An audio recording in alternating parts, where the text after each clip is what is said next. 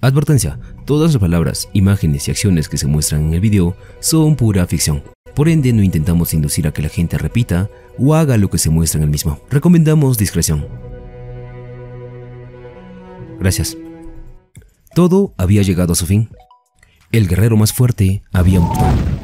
El arma del rey demonio lo había mandado al otro mundo. Su equipo ya no podía hacer nada. Él era el único que podía eliminar al rey, por la única razón de que recibió esa bendición hace un par de años. Mikalit estaba arrepentido. Era un mago del noveno círculo. Hace años fue uno de los candidatos a la bendición de eliminar al rey demonio, pero se rindió, porque pensó que no se lo merecía. Y sí, ese fue su error. Ya no había vuelta atrás. Ese cabeza de chorlito estaba en el piso.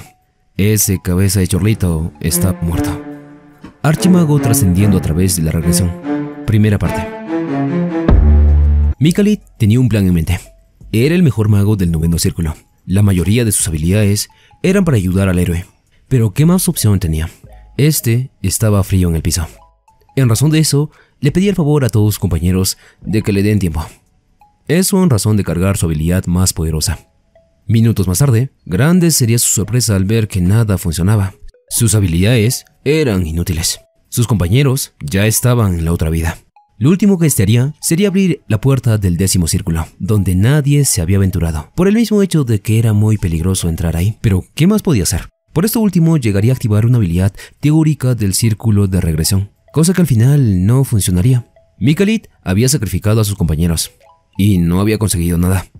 Este último se culpaba por no haber tomado una buena decisión cuando había tenido la oportunidad. Como tal, pedía y rogaba que el hechizo funcionase, al menos de manera parcial. Esta vez no lo volvería a cagar. Ese tipo no volvería a ser el jefe. Mikalit lo iba a hacer. No volvería a cometer ese mismo error. Así entonces, la otra vida le había llegado. Al despertar, su mirada, su respiración y todo era diferente. Algo había pasado. Mikalit parecía mucho más joven y de paso se encontraba en la cama todo madreado. Su mayordomo le mencionaba que estaba en el cuarto mes del año 32. Como tal, sí, todo había sido un éxito. Había vuelto 20 años en el tiempo. Por cierto, un dato a mencionar es que ahora y en el futuro solo se conocía un 1% de la magia de regresión. Eso en razón de que era conocida como la magia imposible, pero el imposible sí había pasado. Mikalit había cumplido su cometido. Daremos una explicación breve de lo que pasó. Mikalit actualmente es una mísera cucaracha. Me explico. Era débil, arrogante y de paso hacía quedar en vergüenza a toda su familia. Y aquel día no había sido la excepción. Este había roto el compromiso con la hija de otra familia importante, los Lindell. Y en efecto, todo había sido su culpa. Por otra parte, hay que hacer énfasis en que Mikalit no tenía la magia ni tiene la magia de 20 años en el futuro. Este último a las justas controla el tercer círculo. O sea, sí, le faltan 6 círculos para llegar al noveno. En ese orden le pide a su mayordomo que se retire, tiempo en el cual recuerda todo lo que le había pasado. No podía cometer el mismo error. Aquel imbécil de Citric había condenado al país y a todos sus compañeros. La pregunta sería ¿por qué? La explicación más breve era que hacía cosas estúpidas por su orgullo. No permitía atacar al enemigo por sorpresa. Intentaba ser lo más equitativo posible y de paso, si le era posible, ayudaba al rival, actividad en la cual no coincidía con Mikalit, ya que por su culpa y obvio su amabilidad, los enemigos tenían una clara ventaja y sus compañeros, por obvias razones, tenían la desventaja. Siegfried era muy piadoso y haber confiado en él para eliminar al rey demonio, sí, había sido un grave error. Un error que le había costado la vida a todo su equipo. Mikalit repetía ello una y otra vez. No podía volver a cometer el mismo error, no esta vez. En otro sitio del castillo, el mayordomo estaba hablando con su amo, el padre de Mikalit. El tipo estaba encabronado. No quería escuchar la misma historia de siempre. Pero no, el mayordomo le daba una noticia sorprendente. Mikalit parecía ser otra persona. Su hijo parecía tener un odio inmensurable. Volvemos con Mikalit Walpurgis. Este tenía una cosa que arreglar con su actual habilidad, la cual en síntesis estaba mal direccionada. Me explico. La energía recorre el cuerpo en forma de maná y en un sentido horario, cosa que a veces llega a limitar al lanzador. Esta sería una de las razones por la cual Mikalit había sufrido en su anterior vida. Cosa que no tenía que pasar ahora. El Mikalit del futuro había encontrado una forma de uso de energía diferente, la cual consiste en dejar que la energía fluya de manera deliberada, con la cual en efecto pudo llegar a abrir el noveno círculo, ello con menos dificultad en su anterior vida. En la actualidad, solo tenía que aplicar lo que había hecho en su anterior vida y así podría mejorar rápidamente su habilidad. Porque sí, aunque tiene todo el conocimiento de su vida pasada, su cuerpo aún está desarrollándose, y usar toda aquella energía que posee podría matarlo. Razón misma por la cual se limita el uso de energía, actividad con la cual fácilmente llega a abrir el cuarto círculo. Y sí, por ende se vuelve un mago de cuarto círculo en un par de horas. Uno de mencionar es que esta técnica se llama la interpretación libre del maná. Continuamos. Con esto, el cuarto círculo y con su libre interpretación del maná, podía usar habilidades fuera de su rango. Un ejemplo es el lanzamiento doble, que es algo típico de los magos del séptimo rango, y que es algo básico para uno del noveno. En fin, esto debía de ser suficiente por ahora. Ya había resuelto uno de los principales problemas. Muy a la distancia, un tipo hacía su aparición. Sí, en efecto, este era su padre. El tipo estaba encabronado.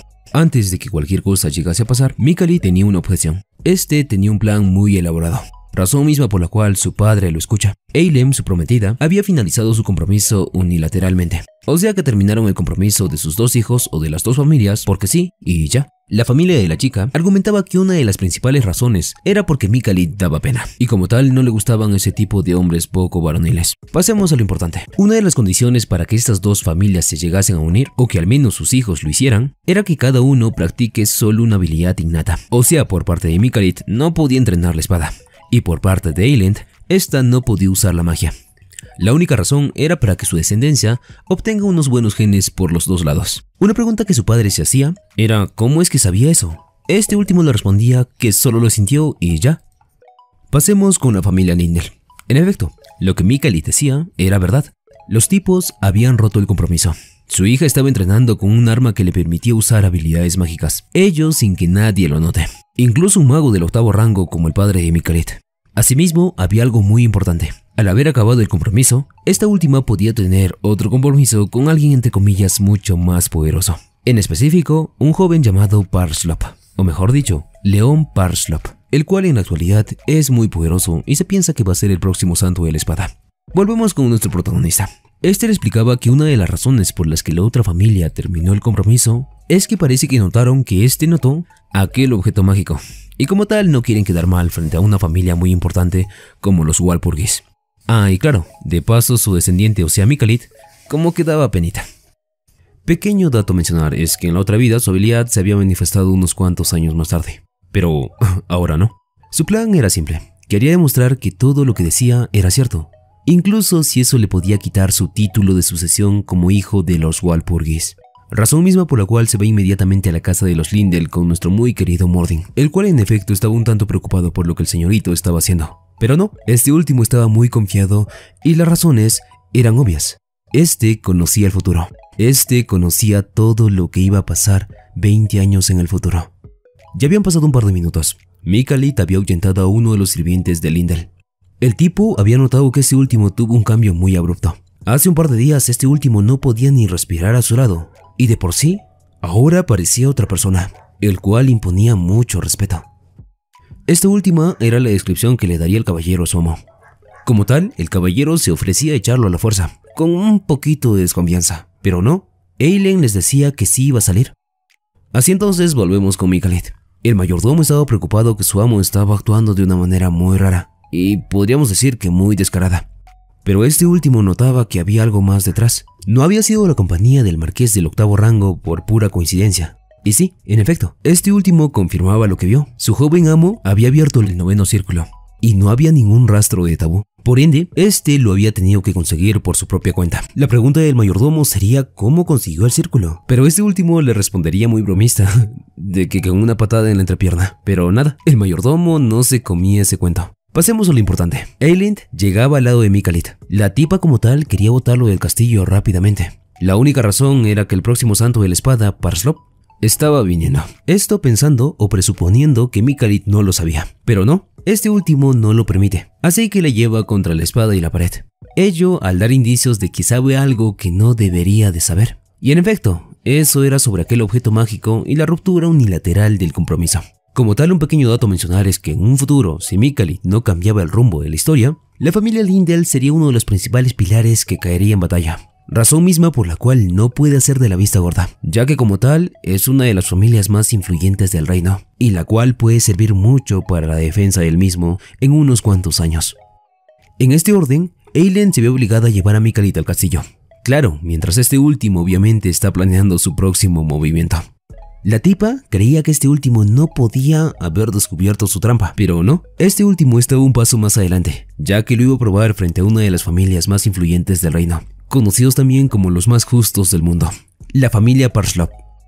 Estos últimos ya habían llegado a su destino. El tipo este parecía muy confiado, intentaba mantener una relación con la familia Lindell y pretendía generar un trato de reciprocidad.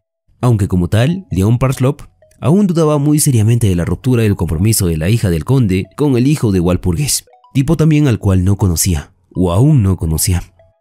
Era importante mencionar que la gente rumoraba muy mal de Mikalit, pero Siegfried Parslop no confiaba en esa descripción.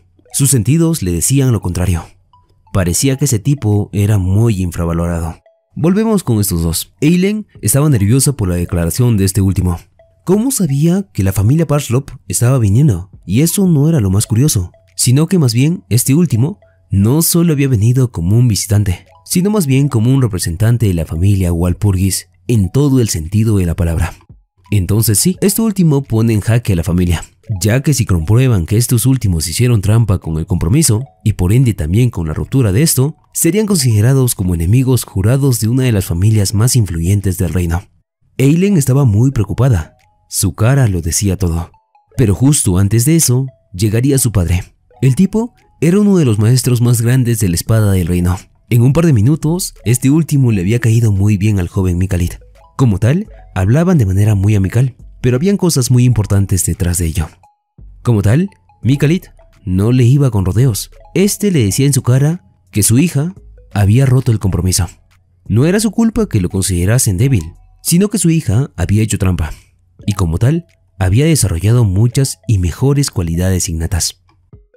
Ya habían pasado un par de minutos luego de la llegada del conde al cuarto. Ambos habían estrechado un acuerdo.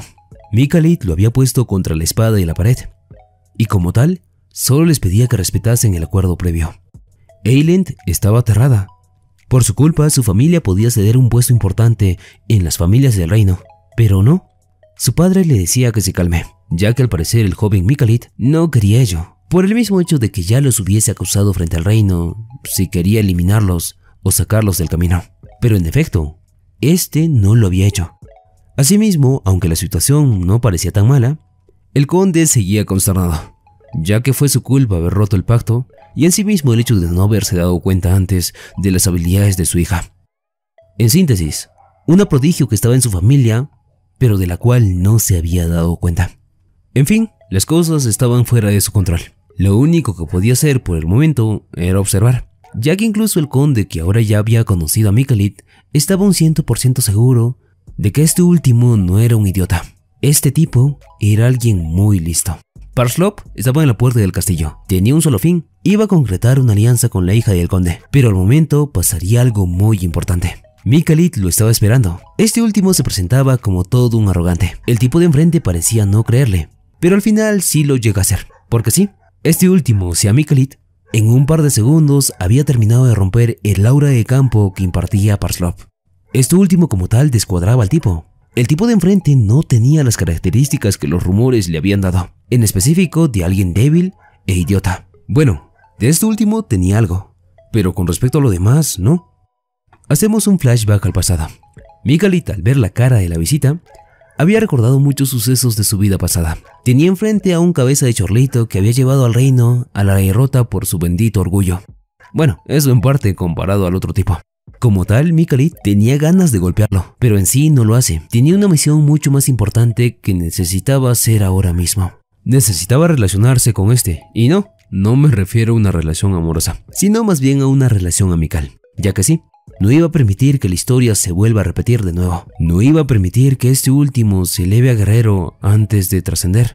El momento de reescribir la historia había comenzado.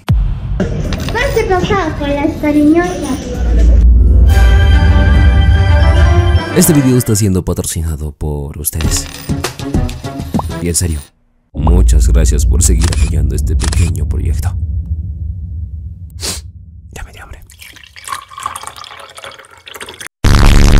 Por ello, regresamos en el tiempo. Parslop estaba herido. Mikalit no podía hacer nada a razón de que su compañero había recibido un golpe mortal. Un dato a mencionar es que Parslop había terminado con el comandante del tercer ejército de los dioses demoníacos, Algelum, el violento. Comparado con el otro tipo el cual había llevado a todo su ejército para derrotar a una sola bestia, este había conseguido un gran logro, sin embargo terminó pereciendo a causa de esto mismo. Volvemos al presente, Mikalit estaba hablando con Parslop, en sí de una profecía muy interesante. Cassandra mencionaba que un guerrero muy poderoso aparecería, y así un problema igual de poderoso terminaría con una gran parte del mundo. La gente no le creía, en especial porque parecía un mundo del cual no iba a salir ningún problema. Pues sí, grave error. En un futuro eso sí pasó. Por ello Mikalit le propone a Parslop seguirlo, en sí para buscar al apóstol que profetizó Cassandra. Este último no quería, era muy escéptico, cosa en sí que termina muy rápido, ya que Mikalit le menciona algo de su interés. Este en sí era un método de entrenamiento que la familia del aquí presente no podía recuperar. Recordemos que Mikalit sabe todo lo que pasa en un futuro, por ende también sabe lo que Parslop estaba buscando. En sí es entrenamiento. El tipo de enfrente no lo quería creer, así que este fuera de juegos le pide las pruebas para seguirle y aceptar sus condiciones. Mikalit no lo duda, lo podía hacer y lo iba a hacer. Así llegan al campo de entrenamiento de los Lindel. El tipo de enfrente seguía dudando de las capacidades de este tipo. Cosa que no pasa con Mikalit, ya que su demostración apenas había comenzado. El método de entrenamiento que estaba buscando el joven aquí presente era muy interesante, en especial porque ayudaba a ahorrar energía. Me explico. El método Muller tenía la principal característica de ayudar a los guerreros de cuerpo a cuerpo. Estos en sí a la hora de luchar tienen un limitador de 40 de energía, aproximadamente. Esto en sí con todos los métodos de entrenamiento normal. Con este método Muller esto era diferente, los guerreros podían llegar incluso a los 70 puntos. El problema de este método es que todos los escritos con respecto al mismo están casi perdidos. Lo único que se pudo recuperar es la mitad de un escrito que explicaba paso a paso cómo alcanzar este estado. El problema con la otra parte es que nadie la encontró y nadie sabe cómo completar el método. Por eso mismo Parslop estaba muy escéptico, no creía ni en sus más lejanos sueños que un mago le iba a enseñar el método que estaba buscando.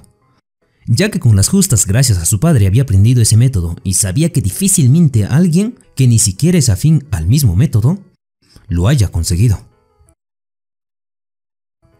Cosa en sí misma que Mikalit cambia, ya que en un par de segundos, a diferencia de lo que Parslop podía sacar de Laura Muller, en sí una actividad muy debilitada, este lo hace de forma completa. La pregunta sería, ¿qué pasó aquí? La respuesta es la amistad que tuvo con el Parslop de hace ya mucho tiempo. Este en sí sabía que su fin se acercaba, razón misma por la cual le enseñó a Mikalit el método Muller, el cual le había tomado muchos años en aprender. Mikali tenía que devolverle ese favor. Había puesto toda su confianza en él, y era momento de devolverle todo el esfuerzo que le había tomado a su anterior yo. Parslov estaba muy sorprendido, no podía creerlo. Un simple mago había conseguido una de las habilidades de entrenamiento más poderosas del reino. Este no se pudo contener y sí, le pide que le enseñe. Pero en sí sabía que debía de haber algo muy grande a cambio, cosa en sí misma que está muy alejada de la realidad ya que Mikalit le dice que sí, este solo tenía unas cuantas condiciones, las cuales no eran muy difíciles de conseguir. Todo esto parecía ser una broma por parte de este tipo, pero Mikalit le confirma que no es cierto. Le iba a enseñar y no tenía ningún impedimento, solo tenía que venir a casa y cumplir algunos de sus pedidos. Algunos. Obviamente este último lo acepta, no podía perder una oportunidad de conseguir esa forma de entrenamiento. En ese orden volvemos con Mikalit. El joven ya estaba retirándose de la casa de los Lindel. El jefe de este le termina preguntando si había conseguido todo lo que quería. Este último mencionándole que sí. Y que en sí tal vez el compromiso que estaban buscando se haya roto. Otra vez. Parecía estar tomándolo en broma y en efecto, era eso. Disculpen a. Así entonces, ya dejando las bromas de lado, Mikalit le menciona que su hija tal vez necesite otra forma de entrenamiento. Tal vez no necesitaba mucho entrenamiento de guerrera, lo que necesitaba era mejorar las habilidades con las cuales había nacido y con las cuales también podía mejorar. El jefe lo sabía. Los comentarios del tipo aquí presente eran muy coherentes, aunque no entiende del todo por qué se comporta así. Parecía que sus relaciones con la familia Walpurgis se podían volver a extender. El jefe de los Lindel estaba un tanto alegre. Ya en la casa de los Walpurgis, su padre estaba muy alegre de que haya resuelto los malentendidos con la otra familia. aunque este último no lo demostraba mucho que digamos. Parecía que su mismo padre no confiaba en su hijo, y eso no se podía negar. Volvamos a lo importante. Mikalit quería terminar los asuntos que había empezado. Su padre le menciona que no lo iba a poder hacer, pero en respuesta a esto le hace mención de que necesita hacerlo. Este al final cede, pero igual tenía algunos planes en mente que quería tomar en contra del barón Lindel, que se había pasado de listo con el compromiso. Volvamos con Mikalit. Este sabía que los problemas no se iban a resolver por sí mismos. Tenía que hacer algo para cortarlos de raíz. En sí, uno de sus problemas que tuvo en su anterior vida fue con el vizconde más poderoso y amigo de su padre. Hagamos un recuento. El tipo unos días atrás le había enseñado a Mikalit todo con respecto a la magia del tercer círculo. Este último de por sí ya estaba muy alegre con este logro, pero luego de reencarnar esto era muy diferente, ya que sabía todo lo que iba a pasar en un futuro. Si bien el mago que está a su lado es muy poderoso, este tiene muchas ansias de poder, y ese fue el problema que hizo que toda la familia pereciera. Por eso, su última opción y única opción era ir a enfrentar a aquel tipo. Ahora, y no mañana.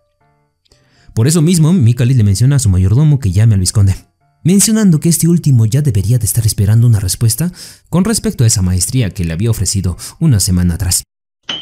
Esto último, obvio, se cumplió rápidamente. El vizconde pensaba que Mikalit lo iba a aceptar como maestro, pero aquel joven le propone una lucha de círculos para así determinar verdaderamente si merecía ser su maestro. Lo que no sabía el vizconde era que sus planes estaban cambiando a causa de enfrentar a un joven que conocía el futuro. Bueno, al final este no lo sabía. Volvamos en el tiempo. Mikalit recordaba al vizconde con un poco de rencor, a razón en sí misma de que los abandonó en un momento muy crucial. La familia estaba muy fragmentada. El rey, o sea el padre de Mikalit, había caído enfermo. Por otra parte, los mejores magos de la familia habían abandonado la protección de la misma. En ese mismo orden, muchos de los magos, los cuales aún se mantenían en la familia, seguían las órdenes del vizconde que había ascendido a uno de los representantes más grandes de la familia. El problema en sí fue ese. Un día sin previo aviso, muchos manifestantes y creyentes del rey demonio habían llegado a la casa de los Walpurgis, en sí a imponer sus creencias, ya que querían tomar y fragmentar la familia del ya mencionado rey enfermo. Los magos de por sí ya estaban muy asustados, Mikalit por su parte tenía mucha esperanza en su maestro. El problema en sí fue ese. Sus esperanzas se habían ido al basurero. El mago más poderoso de su casa, después de su padre obviamente, se estaba rindiendo. Y esto último sin siquiera luchar. De esta última acción solo había una explicación. El tipo estaba buscando poder y no le importaba la forma con la cual lo consiguiera. Por ello mismo, Mikalit le estaba proponiendo un trato. Quería una lucha sin círculos. Me explico. Este último, al ya saber que el aquí presente en un futuro lo va a traicionar, quiere una lucha que elimine todas esas cosas. En ese sentido, la propuesta era simple. Tenían que luchar con todo lo que tenían, y si el vizconde ganaba, Mikalit tenía que ser su estudiante. Y si Mikalit ganaba, el vizconde tenía que ser su estudiante. Este último parecía tomarlo en broma. No le pasaba por la mente que un joven que a las justas había levantado su tercer círculo lo venciera. Entonces sí, este acepta. Este último tenía mucho que ganar y tal vez muy poco que perder. Aunque no sé si verdaderamente vaya a perder muy poco. Esto último es en serio. Ya fuera de la casa, el vizconde estaba muy alegre. Tenía mucha seguridad de sus habilidades, y en especial del hecho de que se le estaba presentando una oportunidad de no un millón. Se le había abierto la puerta para ser parte de una gran familia. Los Walpurgis. En ese mismo orden conseguir todo el poder que tanto anhelaba. Ya había llegado el día siguiente. El mayordomo de Mikalit estaba enterado de lo que su amo estaba haciendo. Este último no le tenía mucha confianza a sus acciones, en especial porque está actuando de manera muy rara. Por otra parte, este sabía que el vizconde no era una muy buena persona que digamos.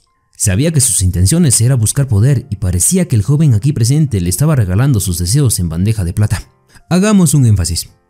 El vizconde no es muy bien conocido por estos lares, a razón en sí de que hace cosas muy cuestionables. Por ello mismo, el mayordomo desconfía de este último. El tipo era muy malvado. Se veía por donde se vea. La única razón por la que se mantenía en la familia era su padre, el rey Walpurgis. Me explico. Este había sido el compañero de la juventud del jefe de la familia. Estos lazos de amistad no le dejaban tomar decisiones en contra de su compañero. Por ello mismo, Mikalit le menciona al mayordomo que quería cambiar algunas cosas, o mejor dicho, quería romper los lazos que su padre no podía romper. Esto último gracias a la magia y el compromiso de los círculos. Me vuelvo a explicar. Los compromisos entre magos son muy singulares, en especial en este mundo, porque no puedes faltar a tu palabra cuando sellas en nombre de tus círculos. En sí, por el mismo hecho de que estos te pueden abandonar si no cumples tu palabra. Entonces, bajo esa condición, Mikalit podía romper todos los lazos que ataban a su padre, al vizconde. Lo único que le faltaba cumplir era vencerlo en una batalla, aunque este último suena un tanto desfavorable para aquel joven. En ese orden, Mikalit estaba con el mayordomo. Este último le mencionaba que no lo iba a poder vencer. Aquel conde era muy poderoso, cosa que Mikalit no quería creer. Por su parte, este le demuestra que aquel conde había hecho trampa con sus círculos. Este último parecía ser incoherente, pero era muy cierto. Me explico. Aquel conde, si bien superficialmente tiene los siete círculos de nivel, estos están muy forzados y adquiridos de forma salvaje. Por otra parte, aunque parece muy poderoso a la hora de demostrar sus habilidades, en verdad sus capacidades de lucha las justas llegan a un mago de quinto o cuarto nivel. En síntesis, si el enemigo de un mago con círculos salvajes como Nostra conocía mejor sus habilidades, podía darle mil vueltas sin mucho esfuerzo. Así ya unos minutos más tarde, Mikalit le comunica a su padre que va a luchar contra su amigo. El tipo lo quería agarrar a piñas, pero al final termina cediendo gracias a la insistencia y a la confianza que le ve en los ojos. Cabe aclarar, o mejor dicho, que el tipo le iba a romper las piernas si le hacía quedar mal frente a Nostra, en especial porque todas las posibilidades están en su contra y no quiere hacerle caso a ninguna de sus advertencias. Su hijo al final lo acepta. Tenía los suficientes conocimientos como para controlar a aquel vizconde. Había llegado al lugar de la batalla. Lo único que le faltaba hacer era esperar. Tiempo también en el cual comienza a practicar las habilidades más poderosas de los niveles más bajos de los magos. Aunque las habilidades de lanzamiento parecieran ser simples, estas en un nivel avanzado eran otra historia. Si una habilidad de lanzamiento simple se controla a voluntad, esta puede hacerle frente a cualquier otro rango. Esto último sin mucho esfuerzo. Y en efecto, eso es lo que Mikalit quería hacer. Quería demostrar todas sus habilidades y demostrar al tipo y a su padre que tiene la capacidad suficiente de guiar y representar a toda la familia. Obvio, esto último no iba a ser suficiente para derrotar a aquel tipo. Pero cabe aclarar que estas habilidades eran lo más básico que podía hacer. Aún no había usado sus verdaderas habilidades de un mago de cuarto círculo. Y peor aún, las de uno de noveno. Volviendo con Mikalit, este estaba muy frustrado por aquella batalla. La razón era que Nostra, su enemigo, estaba yendo por un camino superficial de magia. Me explico. En la anterior vida, este le había enseñado a Mikalit. Obvio, todo lo que le enseñó fue forzado, los círculos y los lanzamientos. Por ello, al llegar al octavo círculo, Mikalit no tuvo más opción que reiniciar. Todo su progreso había sido en vano, ya que no podía trascender más allá del octavo círculo. En este contexto quería que Nostra aprendiera y dejara la magia superficial, el único motivo es que podría usarlo de una manera muy eficiente más allá en el futuro. Así, la batalla ya había dado comienzo. Las reglas no cambiaban. El perdedor sería el vasallo del ganador. Los limitadores de magia eran el cuarto círculo. Asimismo, de no cumplirse los tratos, la magia los castigaría. Esto aplicaba en los dos. Ambos estaban muy confiados. En especial Nostra. Por ello, este comienza con un hechizo muy simpático. Debilitar.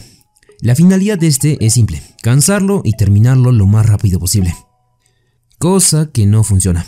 El joven de enfrente podía y lo había confundido con un hechizo muy raro del cuarto nivel. En ese orden, el tipo de enfrente no cambia su posición, lo vuelve a atacar. Lo que no esperaba era una defensa perfecta por parte de Mikalit. Acá hagamos un énfasis. En la magia las luchas son muy injustas. En especial porque cualquiera con un conocimiento firme de los hechizos, puede vencer a otro muy superior, pero en sí que tenga límites con sus conocimientos específicos. La práctica de esto lo confirmaba. El joven de enfrente estaba canalizando una habilidad de primer círculo. Pero no solo era eso, este lo había mutado. Esta no solo era una habilidad simple, este era un misil que fácilmente se comparaba a una habilidad de cuarto círculo o mayor. El joven no estaba jugando, estaba demostrando que la magia no solo se basa en círculos. Este estaba demostrando sus conocimientos. Los misiles hacían su trabajo, atacaban, destruían la defensa y a la vez causaban daño. Nostra estaba muy nervioso, estaba siendo humillado, pero obviamente tiene un plan de contingencia. No podía perder su oportunidad de entrar a la familia Walpurgis. Su método era simple, estaba multiplicando sus habilidades, En pocas palabras, podía usar habilidades del séptimo círculo, pero dividiéndolas en fragmentos más pequeños. En la práctica, incluso un mago del séptimo círculo tenía que sufrir para defenderse de esa cosa. Cosa en sí que está un tanto alejada de la realidad. En la magia, como lo dictan los hechos, todo está determinado por los conocimientos y la calidad de usarlos. El tipo de enfrente tenía los conocimientos, pero no los usaba muy bien. A diferencia de Mikalit, que tenía los dos lados muy bien equilibrados. El padre de este último estaba muy sorprendido. Le estaba dando una muy buena batalla a Nostra. Pero obviamente esto no era el final. Razón misma por la cual su hijo reinicia el ataque. Pero como se mencionó, Nostra no podía hacer mucho. Sus hechizos eran muy simples a la hora de usarse. Por otra parte, los misiles mágicos eran una pesadilla de manera individual. ¿Qué opción tendría frente a un lanzamiento múltiple, o mejor dicho, una docena de estos? Obviamente ninguna. Seguido este lanzamiento, el joven de enfrente ya estaba muy eufórico como para dejarlo libre, así que continúa la batalla en los golpes, en especial para cumplir uno de los sueños de su vida pasada. Quería tomar represalias en contra de Nostra. Las razones son muy simples. Aquel tipo los iba a traicionar. Pero tal vez esto podía cambiar. Así su padre al ver que Nostra ya estaba acabado, detiene a su hijo. Al final de cuentas, Nostra ya estaba hecho tiras. Así ya con la batalla terminada, todo estaba decidido. El ganador de este era su hijo. Su padre lo estaba aceptando. Por otra parte, este último le hace mención que por un momento parecía ser otra persona, o parte de la profecía del apóstol crepuscular. Me explico. En pocas palabras, la historia de aquel mago era singular. Un joven muy talentoso, y obvio, muy diferente a sus símiles, había aparecido, pero así como apareció, también había desaparecido. Volvemos con Mikalit. Este era muy escéptico, su padre lo estaba pensando demasiado. En ese orden solo lo menciona que toda la batalla lo hizo por una cosa. Quería que no se sienta solo en ese título de jefe de familia. En sí por el hecho de que Nostra, su único compañero de familia, era el único que lo acompañaba. Ahora esto había cambiado. Este último iba a tomar la posición de Nostra e iba a ayudar a jalar las riendas de la familia. En especial porque esta posición de jefe es muy desgastante. Recordemos que fue la razón por la que su padre había caído enfermo en el pasado. Esta vez tenía que ser diferente. Mikalit tenía la misión de conservar sea como sea la torre que su padre había estado cuidando por tantos años. Ya en otro lugar, Nostra estaba muy ansioso, en sí por lo que había pasado. No entendía el cómo ni cuándo había perdido. Por otra parte, tampoco entendía muy bien las intenciones del joven que estaba presente. Este suponía que quería apoyo y consejos, pero esto último no era así. Había supuesto mal. Mikalit no había cambiado nada de sus compromisos. Este iba a ser su alumno, especialmente para que no se pase listo con la familia, tal como lo había hecho en el pasado. Nostra no lo quería aceptar, así que Mikalit pone en la mesa su compromiso. Si lo rompía, sus círculos lo iban a abandonar. De eso no había duda. Por su parte, Nostra sabía que pasaría eso, razón por la cual acepta su destino. Lo tenía y lo iba a llamar maestro, pero obviamente sigue escéptico. Nostra se negaba a aceptar su situación, pero el joven de ahí presente le hace mención que necesita entender que sus círculos están rotos. En especial porque los está forzando de manera superficial. Por ello también como que su cuerpo genera formas de repulsión a la magia que está generando. Me explico. Cada vez que Nostra usa una habilidad de rango alto, sacrifica mucha energía. Por ello es como que para agarrándose el pecho. Y peor aún, está sacrificando energía y energía vital a cambio de mucho poder. Así entonces Mikalit le menciona que le puede enseñar desde cero. Y cómo no volver a generar esos círculos que generalmente se fracturan. Solo tenía que otorgarle el maná de 5 de sus círculos. Esta última razón de que arreglar algo que ya está mal hecho es imposible. El conde Nostra no tenía muchas opciones. El hijo de su amigo tenía mucha razón. Había hecho mucha trampa y no quería volver a decepcionar al jefe Walpurgis en especial luego de enterarse que éste sabía todo con respecto a las formas en las que consiguió su poder. Así entonces, éste lo acepta. Le iba a otorgar el maná de cinco de sus círculos para empezar su travesía desde cero. Mikalit había eliminado los problemas más cercanos. Con eso nos referimos al Visconde. Ahora tenía que pensar en los que se acercaban. En especial uno, la profecía de Cassandra. En síntesis, En su anterior vida, ésta había profetizado que un gran mal aparecería. La gente y los reinos no le hicieron caso. Cuando se dieron cuenta de la veracidad de esta visión, ya era demasiado tarde. Los mejores guerreros ya estaban exterminados. Y así, los apresurados intentos de conseguir héroes a última hora fueron una farsa, ya que nadie estaba preparado. Esto último incluye a Mikalit, y en sí el resto de su escuadrón al cual pertenecía. Volvemos con Cassandra. En su anterior vida nadie le creyó, incluso cuando ésta vomitaba sangre y reconfirmaba su visión. Actualmente, esa tenía que ser su cuestión. Tenía que encontrarla y ayudarla, ahora. Esto con el fin de que en un futuro ésta pueda trascender o incluso ayudarlo en la lucha contra el rey demonio. El problema estaba ahí actualmente. No sabe cómo contactar con esta. Por el momento solo tenía que esperar a que las cosas tomen su rumbo. Y cuando llegue el momento, tomar las mejores decisiones posibles. Estas cuando las oportunidades se presenten. Bajo esa premisa, el mayordomo hace su entrada. El joven Parslop había llegado a la sala. Mikalit suponía que era para aprender aquel método Muller, y efectivamente, era eso. Este por sí le dice que le va a enseñar, pero con una condición extra. Quería tener parte de los tesoros de los calabozos de los Parslop. El joven de enfrente se estaba haciendo loco. Titubeaba y negaba que hubiera un calabozo debajo de su castillo. Pero en sí, no puede estar de mentiroso frente a alguien que conocía muy bien las cosas del futuro. Al final, por su propia boca, este termina aceptando que hay un calabozo inexplorado en los calabozos de su familia. Esto último razón también por la cual su familia estaba teniendo problemas financieros. Me explico. Los Parslop, al no conocer la estructura y en sí nada del calabozo en su territorio, enviaban tropas de incursión. Estas de por sí gastaban muchos recursos familiares, y ese también es otro problema. Enviaban tropas a investigar y ninguna de estas traía buenas noticias, o mejor dicho, los exploradores no volvían. Esto de por sí ya era un problema. Por ello mismo, la familia Parslop quería relacionarse con los Lindel. Pero sabemos que este último tuvo un pequeño giro argumental. Con respecto a Leon Parslop, esto ya no era una duda sin fundamentos. Este le estaba preguntando qué quería con la mazmorra de su familia. Mikalit le responde tajantemente que decía la recompensa a cambio de ayudarles a desvelar los secretos de aquella mazmorra. Este último de por sí dudaba de Mikalit, pero al final termina cediendo ante tanta insistencia. De por sí, llevar a alguien más a que intente pasar la prueba no era ningún problema. En especial ahora cuando ya casi cinco grupos de exploradores no pudieron sacar nada de esta última. Parslop lo estaba aceptando, pero aún faltaba una última respuesta. Este era su padre, el jefe Parslop, para completar su plan, debían de pedirle permiso. Por eso mismo, estos dos deciden ir a la residencia de los Parslov.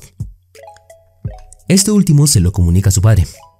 Este último nuevamente le quería romper las piernas, pero al final termina cediendo. Los resultados de su hijo estaban siendo muy favorables para la familia, en todo sentido. Volvamos al tema principal. Este tenía el permiso de su padre, en sí para encargarse de los asuntos de la familia. Por ello se retira, pero nota la presencia de alguien muy cercano dentro de su cuarto. Esto último era muy extraño, pero finge que era una corazonada. Con este ya fuera, aquel tipo oculto sale a la luz. Este era el mayordomo. ¿Cómo lo hizo? Pues ni Mikalit estaba seguro de ello. Pero al conocer el futuro, sabe de la verdadera identidad de este último. Con respecto al mayordomo, a pedido del jefe Walpurgis, este genera una excusa bastante creíble a fin de seguir a su amo, cosa que al final efectivamente consigue sin mucha negativa.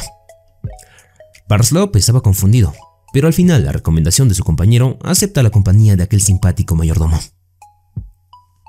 Ya habían llegado al territorio de los Parslop. Este se veía muy bien, y Parslop presumía que su padre administraba muy bien las tierras. Mikali también lo tenía que reconocer. En cuanto a efectividad, esta familia era muy buena. Así ya habían llegado a la casa de los Barslov. León le comentó todo lo sucedido a su padre. Este último no estaba muy contento, y peor ahora al saber que su mazmorra podía ser saqueada. Parecía que su enfermedad estaba empeorando a causa de las noticias de su hijo. Pero este último le comenta que no se preocupe. El representante de los Walpurgis no quería llevarse todo, sino más bien ayudarlos a incursionar la mazmorra. De paso, este último le había ofrecido el método Muller, su padre de por sí no podía creer esto. La única condición que le ponía era hablar con aquel joven. Con respecto al joven, este estaba teniendo una lucha calorada con su mayordomo. De por sí, este último era muy confianzudo a la hora de negociar, y puede que el jefe de los Barslov lo tome de muy mala manera, o incluso rechazar su oferta. Pero ello no pasó. Este de por sí sabía y tenía todo el trato en sus manos, y no se equivocaba. El jefe de los Barslov y León estaban en la sala y querían negociar. El jefe de por sí era muy imponente. Este no quería negociar la mazmorra, en especial con un Walpurgis. Este último por muchas razones. Pero al final, el joven le hace una propuesta muy simpática.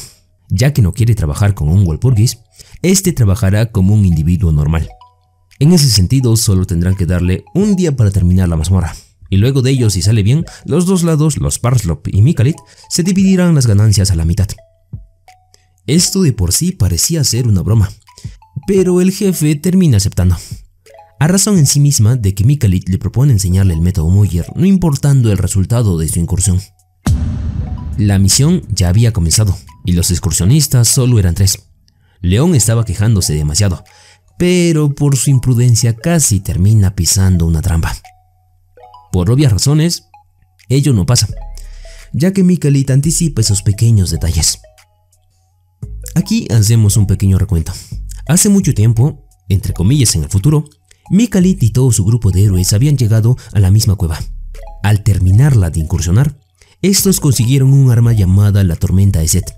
De por sí, este último podía ayudarles a defenderse de los ataques del Rey Demonio. Este último era innegable. El único problema fue que el dueño del objeto no fue Mikalit. Este fue Siegfried. Reafirmemos esto último. Siegfried es alguien muy distinto a León Parslov. Esto último fue mi error. Pensé que eran el mismo. Sorry. Con respecto a Siegfried, el tipo era un tontonazo. En el buen sentido de la palabra. En sí no había ni siquiera pasado una semana de su incursión en aquella cueva y la obtención de aquel objeto, y aquel tipo lo había roto. En serio, aquel joven era un dolor de muelas. Hacía todo lo que no se debía de hacer. Por ello mismo, ahora en la actualidad esto no tenía que pasar, y el dueño de aquel objeto iba a ser alguien más capaz. Ya habían pasado un par de horas. Los jóvenes habían llegado a un punto de descanso de los duendes. Por sí solos eran muchos, cosa que asusta a León. Este último tenía la idea de volver y traer tropas, pero Mikalit no lo iba a hacer así. Esto no era una mazmorra, esta era una tumba que fácilmente podía ser limpiada por un solo hombre. Esto lo sabía con mucha anterioridad. El grupo había regresado un par de minutos en los pasillos. La razón era una. Bueno, era parte del plan de Mikalit. Este constaba de unos pasos muy simpáticos. Primero se tenía que sacar trozos de un cristal de las runas de la cueva. Esto con el fin de engañar a los duendes. Me explico. Los duendes son muy codiciosos. Al ver algo brillante, podrían matarse incluso entre sí para obtenerlo. Ahí venía la cuestión. Este estaba juntando partes de aquel vidrio raro. En ese mismo orden lo unía con magia, a fin no solo de hacerlos atacarse entre sí, sino también de confundirlos y solo estar de mirones mientras ellos se eliminan entre sí. Y dicho y hecho, eso pasa. Los duendes se eliminaron entre ellos, mientras los muchachos estaban de mirones. La primera puerta ya estaba desbloqueada. Pero había algo interesante entre las pertenencias de uno de los goblins. En sí, una bolsa subespacial del más alto nivel. Nunca la había visto en sus anteriores incursiones, y la razón solo era una. Sí, su querido y muy apreciado líder de escuadrón, Siegfried, lo había eliminado sin pensar en cuestiones como esa, a pesar en sí de que Mikalit le había advertido de ello. En ese sentido, Mikalit día a día generaba más odio a aquel tipo y su rencor obviamente era muy justificado. En fin, ya no podía hacer más sobre el tema. Por ello, bajo una deducción de su entorno, llega a la conclusión que la cámara en la que se encuentran era muy singular, en especial por aquella bolsa. Esta tenía que ser una pista para encontrar un camino, y efectivamente era ello. La bolsa tenía una inscripción de poner el más grande símbolo de codicia en la bolsa. Este último podía referirse a los reyes de los goblins, y sí, Ello era correcto. Las piedras de los goblins eran la siguiente pista. Por ello León Parslop le propone a Mikalit probar quién se queda con la bolsa especial. Para ello tenían que sacar las piedras de los reyes. Este último se dio como León lo pidió, pero al final termina perdiendo. Su piedra era muy miserable frente a la piedra de Mikalit. En ese contexto y viendo que las cosas habían funcionado, Mikalit saca una suerte de llave de aquella bolsa. Gracias a ello notó que con respecto al pasado, todo había cambiado. Al parecer, habían encontrado un atajo y podían conseguir el objeto más rápidamente. Ya habían saltado muchos de los salones sin mucho esfuerzo. León estaba muy sorprendido de las habilidades de deducción de su compañero. No parecía ser un joven de su edad. Este parecía ser alguien mucho mayor. Esto en sí le generaba mucha intriga, ya que muchas descripciones de este último eran muy distintas a las que está viendo actualmente. Este último lo había escuchado el mayordomo, y le aclara que todos los rumores eran ciertos, y que el mismo Mikalit lo había aceptado. En fin, ¿qué más se podía hacer? Se vea por donde se vea, aquel joven era alguien muy interesante. Así ya habían llegado a una puerta con los rasgos de un cuarto nivel. En su anterior vida había pasado por esta solo dos veces. De por sí pareciera que esta era muy peligrosa. Pero Mikalit no le toma mucha importancia, haciendo mención de que ahora o más tarde, sea como sea, tenían que entrar. Por ello y con el fin de protegerlos, activa una habilidad a fin de cuidar a sus compañeros. Ya dentro de aquel lugar todo parecía estar a oscuras. En eso comienzan a escuchar una voz muy familiar. Este era Parslov. Parecía estar muy herido. Le reclamaba de todo, y en especial el haberlo dejado solo en el campo de batalla. Pero en sí, Mikalit no caería en esa trampa. De por sí conocía muy bien al león de aquellos años, y actualmente las estrellas que veía en su cuerpo obviamente no eran las suyas. Ya así, habiendo descubierto que aquello era una farsa, todo termina. Las ilusiones habían sido creadas por los cristales de aquella habitación, de por sí, estos materiales podrían enviar a una persona normal la demencia, pero en su condición ello no funcionaría. Con respecto a los demás, el mayordomo muy extrañamente estaba en perfectas condiciones. Con respecto a León, esto era diferente. Este estaba sufriendo por los efectos secundarios de aquellos cristales. Sus ilusiones eran muy extrañas. En especial porque parecía que se estaba echando la culpa de muchas de las cuestiones de su familia. Por otra parte, alucinaba que Mikalit lo quería destruir y por ello lo comienza a atacar. Pero en medio de esto se da cuenta que todo era incoherente, en especial lo de atacar a Mikalit. Por ello mismo recupera la razón y la prueba en ese mismo orden había pasado de nivel. Todos los presentes habían vuelto a desaparecer, esto último a causa de una niebla muy extraña.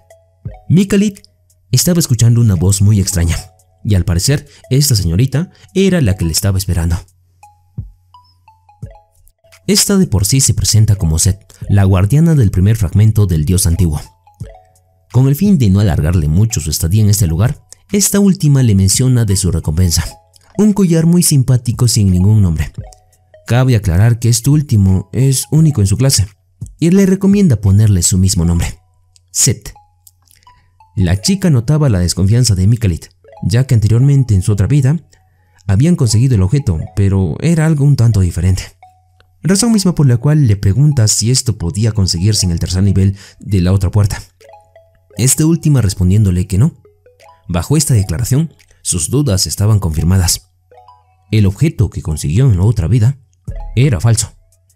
Bueno, no podía hacer nada más, así que prueba aquel objeto. La chica le hace mención que lo va a proteger una vez al día, y de por sí servía como una espada y un escudo. Con respecto a este último, eso de protegerlo podría variar pero eso ya dependía de las habilidades de su usuario. Ya terminando la explicación, la chica de enfrente comienza a desaparecer. La razón era simple, la magia antigua de la tumba se estaba perdiendo. Aquella muchacha ya la había dado por perdido. Se despedía de aquel joven, aunque tenía el sueño de ver cómo el mundo cambiaba. Mikalit la había escuchado muy atentamente y le iba a cumplir su sueño. La joven no le estaba tomando muy en serio. La razón es simple. Para arreglar su sello se necesita la magia o al menos el conocimiento del noveno círculo. Y eso era prácticamente imposible. O eso en partes, ya que el joven ahí presente arregla el vínculo del apóstol y le da una nueva oportunidad de estadía. aunque algunas cosas habían cambiado un tantito. Las razones eran muchas, pero la más específica es que la magia se redujo, por ello su cuerpo era más pequeño. Aunque este último no le gusta mucho que digamos a nuestra estimada campanita. Porque sí, parece Tinkerbell. Con respecto a este suceso, esta última tenía muchas preguntas. Pero la principal era saber si es un archimago. Este último le responde que no, y que solo es un genio. Guiño, guiño. Esta es la casa de los Parslock. El jefe estaba un tanto preocupado por aquella misión. Estaba casi 100% seguro que iban a fallar. Aunque este último está muy lejos de ser la verdad. Uno de sus caballeros le estaba notificando que la incursión ya había terminado. Mikalit Walpurgis había regresado. Su cara de por sí expresaba muchas emociones. No podía entender muy bien lo que estaba escuchando. Pero antes, llega el momento en el que pido que te suscribas. ¿Qué? ¿Qué? Así que te pegas una suscribida al canal, una me gusteada al video, su comentada, su compartida, y seguime en Twitter que tengo Twitter, entre comillas, y en Instagram que tengo Instagram. Gracias. Parecía que todos estaban muy conformes con sus ganancias. Los materiales de la caverna eran de muy alto nivel, si bien el jefe de los Parslop actualmente se arrepentía de haber aceptado un trato de mitad de ganancias, viéndolo desde un punto más de verdaderas ganancias, lo que había conseguido Mikalit era mucho, ya que previo a la llegada de este último, recordemos que el jefe había invertido muchos recursos en las incursiones y no conseguía nada de estas.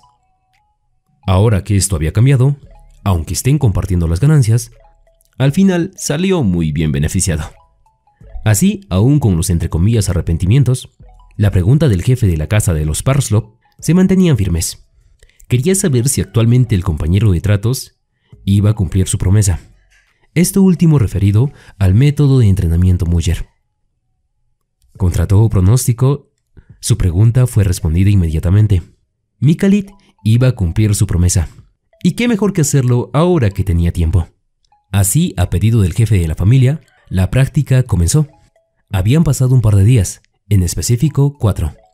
Muchos de los sirvientes de la casa principal ya habían oído que el hijo del señor de la casa estaba recibiendo el arte del esgrima por un nuevo maestro. Aunque muchos de los que oían los relatos no lo creían, el maestro era un mago, quien en teoría no debería enseñarle a un guerrero.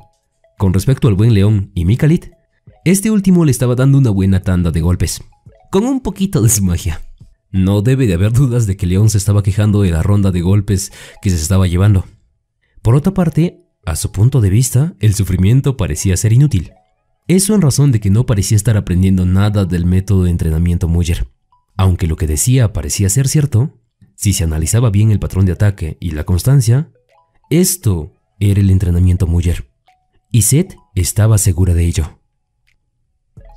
Habían vuelto a pasar un par de horas, León se quejaba del método o la forma de enseñanza de Mikalit. Mikalit como tal lo hacía muy bien. Esto no solo con la enseñanza, sino también con parte de una pequeña venganza del pasado, en sí contra cierta persona que en su anterior vida le había enseñado este método de entrenamiento Muller. Pero al contrario de lo que le pasó con León, este sufrió tremenda paliza física, y no tanto mágica. En pocas palabras, el bastardo, León del futuro, le había hecho pasar un pequeño infierno. Y ahora que las cosas se habían volteado, el que le hizo sufrir ahora estaba sufriendo. El momento del entrenamiento había llegado a su fin, y la venganza también. El actual león tenía que aprender a circular el maná que se le dificultaba controlar. Esto último como lo estaba haciendo en los últimos días. Dato con respecto a Mikalit. Esto en el pasado fue diferente. Él, al ser un mago, no necesitó de controlar el maná, sino más bien de controlar su cuerpo. Por eso también de su venganza. Las indicaciones para León solo eran unas cuantas. Mantener el flujo del maná que actualmente circulaban en sus manos. Y naturalmente, el método Muller con el paso del tiempo se completaría. Esto en el sentido de que la habilidad no se gana de un día para otro, sino que se va perfeccionando. De esto último, lo único que Mikalit podía asegurar era que su buen compañero ya tenía un atajo muy grande para completar su entrenamiento. Así habían vuelto a pasar un par de horas. Las órdenes de Mikalit habían sido cumplidas. O sea, el hecho de que nadie vivo, o algún ser vivo, estuviese cerca de la zona. Esto último no incluyendo a Seth, o la simpática Tinkerbell. Aún tenía la propuesta o la meta de hacer algo que nunca había probado, pero que estaba seguro de que funcionaría. Como tal, usar la tormenta de Seth. La joven guardiana se preguntaba el cómo usar un objeto de defensa, eso sin poner al dueño en peligro. Pero Mikalit no tenía esa idea. Más bien, usarla en beneficio propio. O mejor dicho, como un arma en todo el sentido de la palabra. Parecía ser una broma, en especial a los oídos de Seth ya que ella, más que nadie, sabía y conocía que su artefacto tenía el único fin de cubrir al dueño. Como tal, las palabras son poco frente a las acciones. En el pasado, la tormenta de Set, o parte de esa tormenta, no era de Mikalit. Esta tenía otro dueño. En el pasado, Mikalit, al ser un mago, de vez en cuando tenía mucho interés en los usos y las formas de beneficiarse del arma. Por ello también tenía una hipótesis. En específico, usar la tormenta de Set no como defensa, sino más bien como un centro de maná, donde la energía fluye y por ende amplía las capacidades del portador. La hipótesis sonaba muy alocada, pero justo eso estaba pasando. Frente a la mirada atónita de la guardiana, aquel joven hacía lo imposible. Estaba controlando el maná como un juego. Eso no era lo único que Mikalit había hipotetizado. Eso solo fue el comienzo. Si bien podía ampliar su campo de maná, el objeto aún no era parte de su campo de maná, y por eso mismo tenía la idea de darle maná en circulación y sucesivamente crear un nuevo círculo temporal. La hipótesis sonaba muy descabellada, pero las habilidades ya estaban siendo lanzadas. Y no solo eso, el círculo temporal no solo se limitó a lanzamientos de sexto nivel, sino incluso a campos del séptimo estado. Volviendo con los dos jóvenes y unos días más tarde, la promesa de León ya estaba cumplida. El método Muller estaba por completarse. Por otra parte, con respecto a Mikalit, aún recordaba lo que tenía que hacer lo antes posible. Entre ellos se encontraba el hecho de reclutar a León para la formación de un grupo de cazadores en respuesta de la profecía. Por otra parte, y no menos importante, el hecho de encontrar a la sacerdotisa Cassandra. Un joven caballero de la casa había llegado, tenía una pequeña información de entre comillas una joven que había acabado de llegar. Mikalit sabía quién era, y por ello se dio el gusto de recibirla. Con respecto a la joven, esta tenía muchas dudas con respecto a lo que estaba pasando. Tenía una única misión, limpiar el nombre de su familia. Esto como sea. Su idea principal para cumplir eso solo era retar a León y ganarle. Eso como tal era el plan. Hasta que el que le recibió fue Mikalit. La joven se había visto descubierta y no tuvo más que aceptar muchas cosas que este último, su servilleta, le estaba proponiendo. Un pequeño recuento de lo que pasó. Por el problema de la ruptura del matrimonio y la falsa acusación de los Lindal a Mikalit, la familia de la señorita tuvo que disculparse con el reino. Y así finalmente todo se vio más claro. Y como tal, más favorable para los Walpurgis.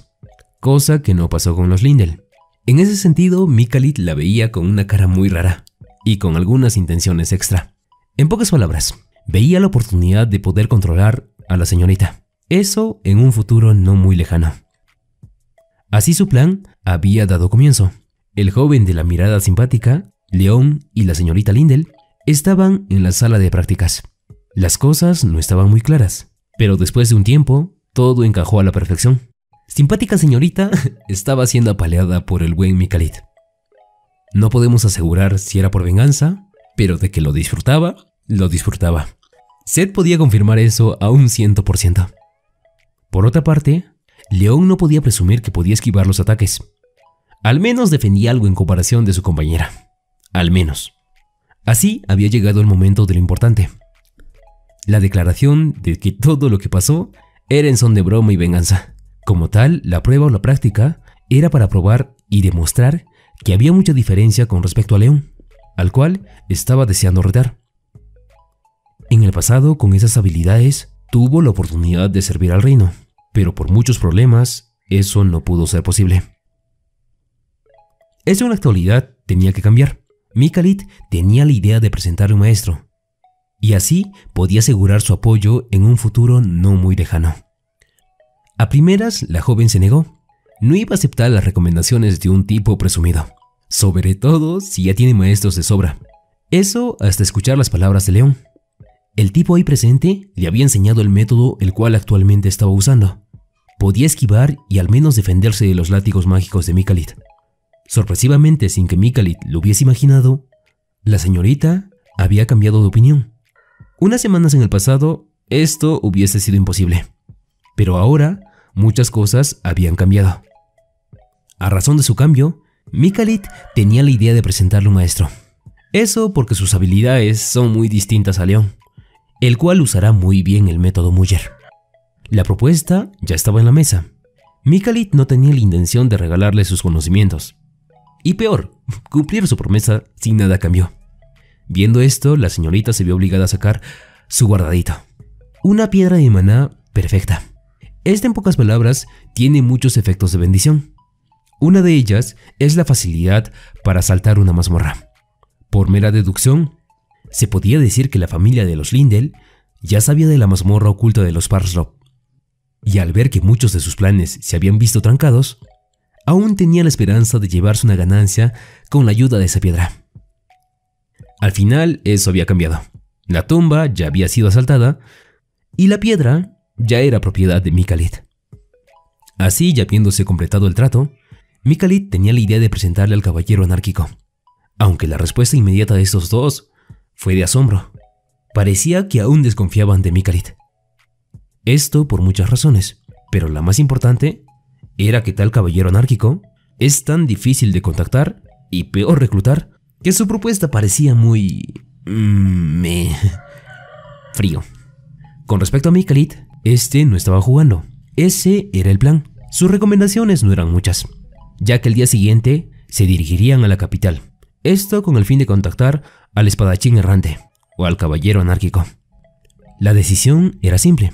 Según a lo que sabía, aquel caballero tenía que estar a la espera de la selección de guerreros de la profecía, la cual nadie cree. Estos dos no entendían mucho de lo que el buen Mikali decía, pero este no parecía perder la confianza. El tiempo había pasado, la noche había llegado. Seth sentía que los chicos eran muy alegres y bastante talentosos. Por otra parte, aún tenía una pregunta. Esto con respecto a la piedra de maná que su compañero acababa de recibir. Con respecto a Mikalit, tenía la idea de sacarle el máximo provecho a esa piedra. Quería un arma de un mago, y para la creación del mismo era necesario muchas cosas. Ya tenía partes del mismo, ahora solo faltaba conseguir las ramas del árbol del mundo. La conversación parecía ser muy amena. Seth estaba muy sorprendida. Esto por muchas razones, entre las cuales se encontraba el conocimiento de la existencia del árbol del mundo, con el cual deseaba hacer un bastón. Al final de cuentas, eso solo fue el comienzo. Mikali deseaba hacer el bastón, pero sabía que eso tomaría su tiempo. Por ello también podía estar saltándose algunos pasos, entre los cuales se encontraba el hecho de refinar la piedra de maná perfecta. Esto último ya que es parte esencial para hacer el bastón. Pese a las advertencias de Seth, el joven continuaba con sus actividades. Aclaremos esto. Actualmente la refinación y el conseguir una piedra de maná para la creación de un arma es muy difícil, ya que existe la posibilidad de eliminar una ciudad entera si ésta se realiza mal. El joven sabía que eso no pasaría. Razones, muchas, pero la más especial era que antes de la regresión, su estudio de piedras y artefactos había sido muy alto. Si bien en las manos de otros la actividad era muy peligrosa, en sus manos eso era diferente. Podía refinar la piedra y no solo eso, podía grabarle runas, agregarle maná y amplificar la energía hasta un punto casi infinito. Los pasos ya estaban siendo cumplidos, y así, unas horas más tarde, la piedra había sido terminada. A primera vista, el objeto era extraño. Esto último por su color, un negro que cambiaba de tono. Eso cada vez que un elemento se aplicaba en él. La explicación más corta que Mikali tenía para esa cosa era que él no solo controlaba un elemento, sino más bien todos. El objeto estaba terminado, pero su prueba aún ni siquiera había empezado. Mikali tenía la idea de probar aquel nuevo artefacto. Así había llegado la mañana siguiente. El aire era extraño. León tenía noticias de que un gran grupo de orcos que causaban problemas en la zona habían sido totalmente aniquilados. Sin entenderlo muy bien, el buen Mikalit no estaba ni de lejos sorprendido. En ese mismo instante, todo había salido a la luz. León lo sabía. El malcriado de al lado había sido el gracioso que había eliminado a los orcos. Este directo no era, pero conchudo sí. Eso se puede saber solo con mirarle la cara de sinvergüenza. No había duda que este había eliminado a los orcos. Este es el templo sagrado, en medio de la capital. Un cardenal tenía la noticia de que la profecía ya había sido lanzada al pueblo. El único problema era que nadie se lo estaba tomando en serio. La cosa no parecía estar pintando muy bien. El líder y padre de la iglesia aún tenía la esperanza de que alguien llegase. Por otra parte, tenía la idea de buscar a la joven que había dado tal profecía. Esto a fin de protegerla de todo mal que podría hacerle daño. De vuelta en la casa de los Parslop, muchos de los viajeros, y en especial la joven Lindel, se preguntaba por qué hacerle caso a una profecía que parecía ser muy incierta. Mikalit no podía explicarlo por el momento, pero su opinión de ir a la capital no había cambiado. Esto ya que no solo el caballero anárquico se encontraba en aquel templo, sino también la llamada de guerreros estaba muy cerca. Por otra parte, gracias a una investigación muy simpática, el mayordomo se había enterado que aquella joven, Cassandra, había dejado un pequeño mensaje antes de desaparecer. Te estaré esperando.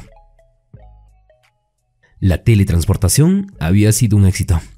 Aunque León se quejaba que este malcriado de aquí le haya hecho preparar caballos y carruaje para al final usar teletransportación, la misión seguía en pie. Tenían que dirigirse a la capital central. Todo muy contrario a lo que León deseaba hacer en sí pasear. En medio de su caminata a la capilla, algo singular pasó. Una joven de caracteres muy singulares estaba siendo atacada por un tipo extraño. Al verla más de cerca, Mikali tenía una extraña sensación de incomodidad, y por eso mismo la termina defendiendo. Al mismo tiempo, un caballero y guardián de la señorita había aparecido. Las cosas parecían haber dado muchos giros, pero luego de una pequeña conversación, algunas cosas estaban siendo aclaradas. La señorita parecía conocer al joven de enfrente. Mikalit, entre comillas, no podía decir lo mismo. Para calmar la situación y aquel pequeño alboroto en la calle, aquel tipo había sido apresado por una habilidad de campo. En ese orden, el ladrón era robado.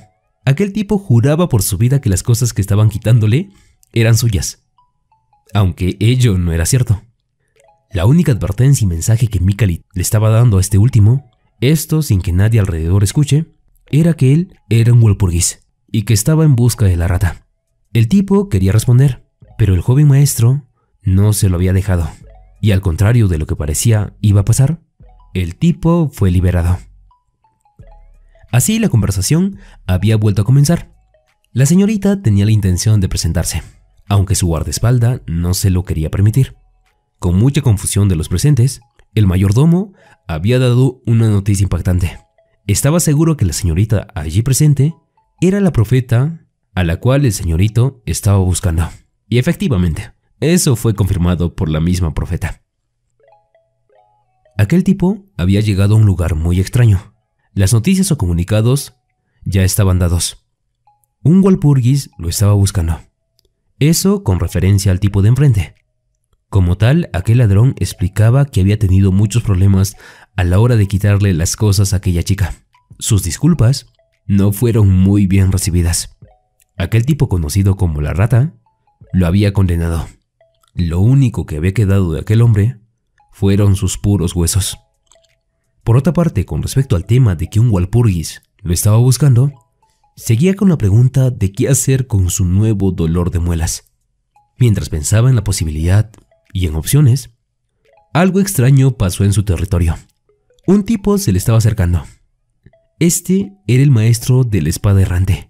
Parecía haber mucha confianza entre estos dos. Este último quería saber dónde estaba aquel joven que le prometió entregar. El tipo al mismo tiempo había planeado un nuevo plan y por ello mismo deseaba negociar la información a cambio de una misión con un joven apodado o apellidado Walpurgis. La conversación con la joven Cassandra había comenzado, pero deseaba un trato de privacidad, razón también por la cual deseaba que los presentes se retirasen. Aunque con un disgusto, todos lo terminan aceptando. Podían estar adelantándose a la capilla. Escuchando esto, Mikalit solo tenía una pequeña recomendación para la joven Lindel. Kaliaman, una palabra o nombre extraño, que en sí podía servir en una emergencia. Entonces las cosas habían vuelto a comenzar. La pregunta del joven era qué deseaba la profeta con su persona. La respuesta más corta que pudo dar fue que él era el bendecido de su profecía. En el pasado y en la actualidad, inexplicablemente, tenía la capacidad de ver muchos fragmentos del futuro. El problema de ello es que generalmente ve sucesos muy desagradables. Un ejemplo del pasado fue que vio la volcadura de una amiga en un carruaje. Como tal, deseaba ayudarla. Al contrario de lo pensado, el resultado de la intervención de Cassandra generó un resultado mucho peor. Así, con el paso del tiempo, muchas cosas pasaron. Una de ellas fue que la visión del rey demonio y la destrucción del mundo ya estaba comunicada al Papa de la Iglesia Central. El problema fue que la noticia o profecía no fue tomada en serio. Eso por casi nadie en el reino. Aunque Cassandra insistía, el resultado casi siempre fue el mismo, hasta que cuando ya había perdido la esperanza, pasó algo muy diferente. La profecía había desaparecido, y en lugar de esta había aparecido un joven llamado Mikalit Walpurgis. Por el momento, él era su última esperanza.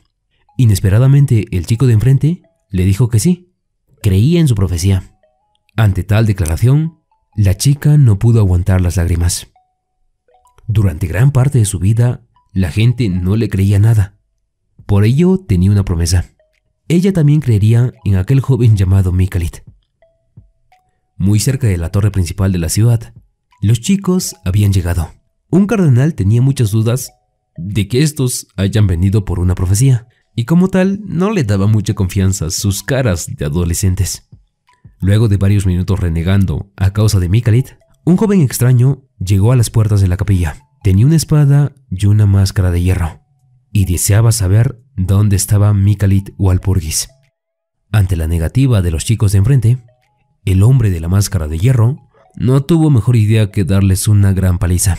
Ante la sorpresa de todos, el caballero se detuvo y sucesivamente preguntó de dónde conocían ese nombre. La señorita Lindel le había dicho Kaliaman. Aquel hombre de hierro quería saber más detalles del mismo. Palabras más, palabras menos, pero cuando parecía empezar otra batalla, Mikalit apareció en su defensa. Entonces tomó su lugar. Este se defendía como podía, pero ante la negativa del caballero, no tuvo más opción que usar un lanzamiento cuádruple de magia. Aún así, el caballero se defendió y estaba dispuesta a continuar con todo lo que tenía. Con gran destreza había canalizado magia en su espada, y en un par de segundos lanzó el ataque. Mikalit aún tenía la confianza en los ojos, pero se vio obligado a hacer lo necesario para defenderse. El amuleto de Set se activó, y en ese orden lanzó un hechizo que pudo neutralizar todo a cambio de un poco de daño al usuario. El caballero tenía muchas preguntas, pero Mikalit no le iba a dar información por nada a cambio, así que quería ser directo. Había conocido al chico de nombre Kaliaman y al ver su aspecto le dio un poco de agua. En ese orden también le preguntó a dónde iba. Con la intriga por los cielos, el caballero le preguntó la dirección y el cómo encontrarlo. Pero ante su sorpresa, el joven la llamó por su nombre y sucesivamente le preguntó del cómo se sentía apoyar al tipo detrás de todo esto, la rata. En las alcantarillas de la ciudad, un tipo estaba mirando a todos sus capturados estaba muy molesto por la condición en la que se encontraban, en especial por el hecho de que los compradores pagan menos por malas condiciones. Así también estaba muy feliz de haber capturado o tener capturado a alguien muy especial, una forma muy eficaz de controlar al caballero anárquico. Aquel joven llamado Kaliaman, el cual estaba detrás de una de las rejas delante suyo.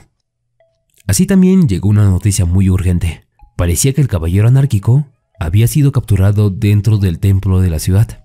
Ya dentro del templo, Mikalit deseaba muchas cosas del arzobispo principal. Su primera noticia era que un remanente del rey demonio estaba demasiado cerca.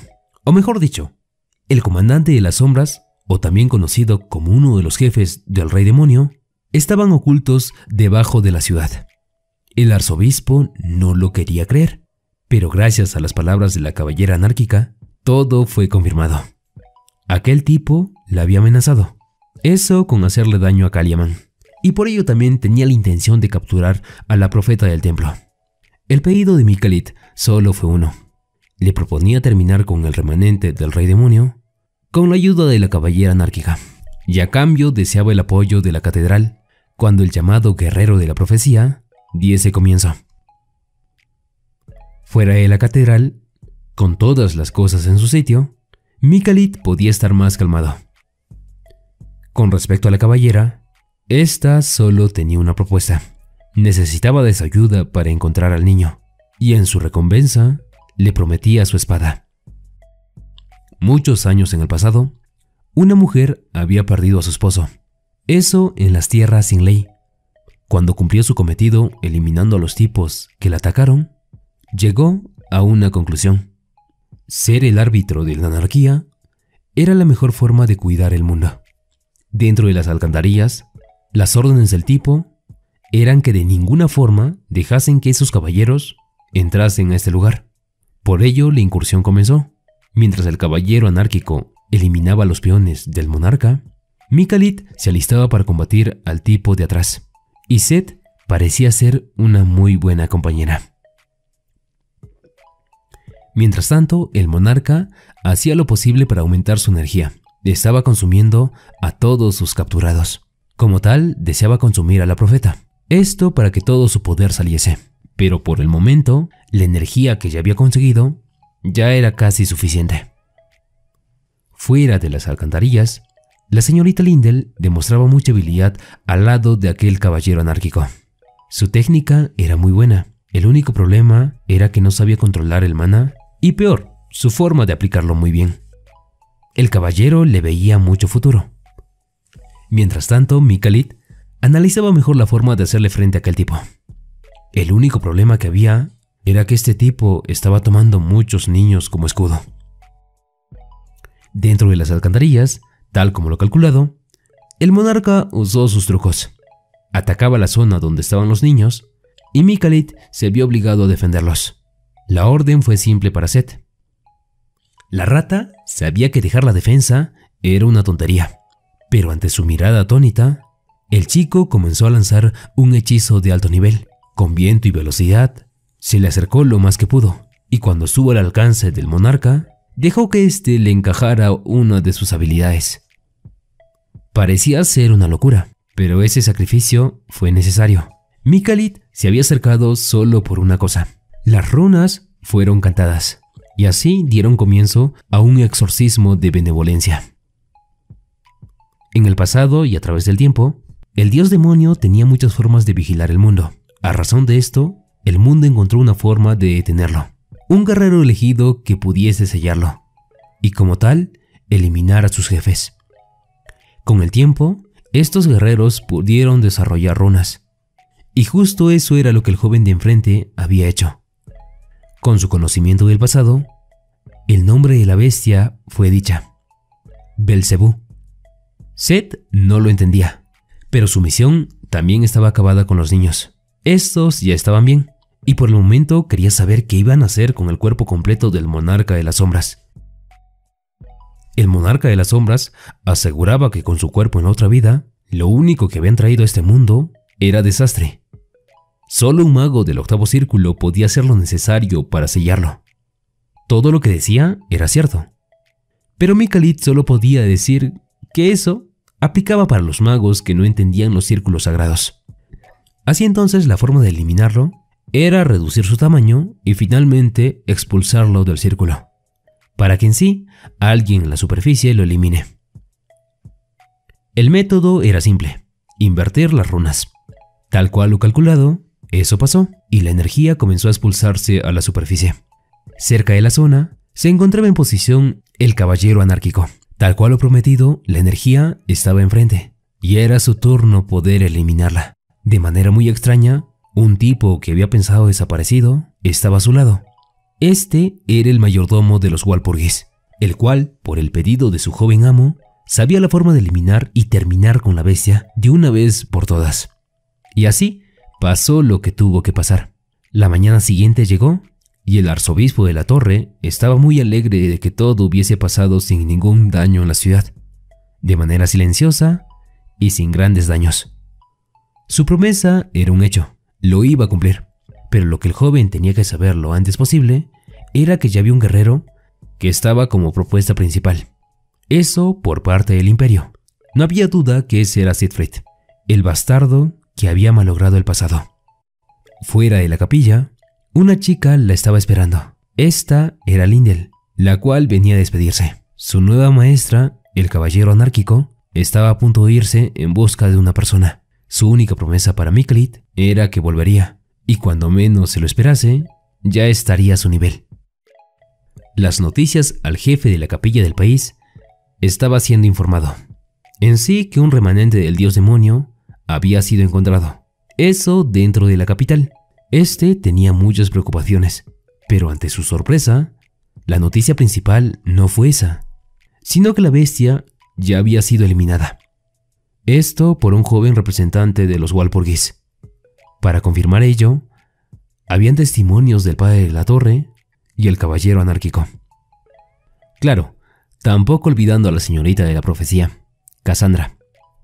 El jefe de la capilla tenía la impresión de haber encontrado al guerrero principal, aquel guerrero de la profecía. Mikalit solo tenía una declaración. Su hijo, Kaliaman, se encontraba con un grupo de mercenarios llamado el Cóndor. Estos últimos reconocidos como un grupo que busca la libertad, que incluso para su título de mercenarios son reconocidos por los cuatro reinos y el imperio. Eso por su honra y su gran confianza. La madre del chico tenía muchas dudas del por qué su hijo había huido, pero parecía estar segura de que ello se debía a que esta última no había sido una muy buena madre. Lo único que Mikalit le pudo decir era que cuando lo encuentre, le dé esta medicina, la cual había hecho con sus propias manos. Y no solo eso, sino también que cuando lo encuentre, converse con este último. Tal vez así podría entender los deseos de su hijo.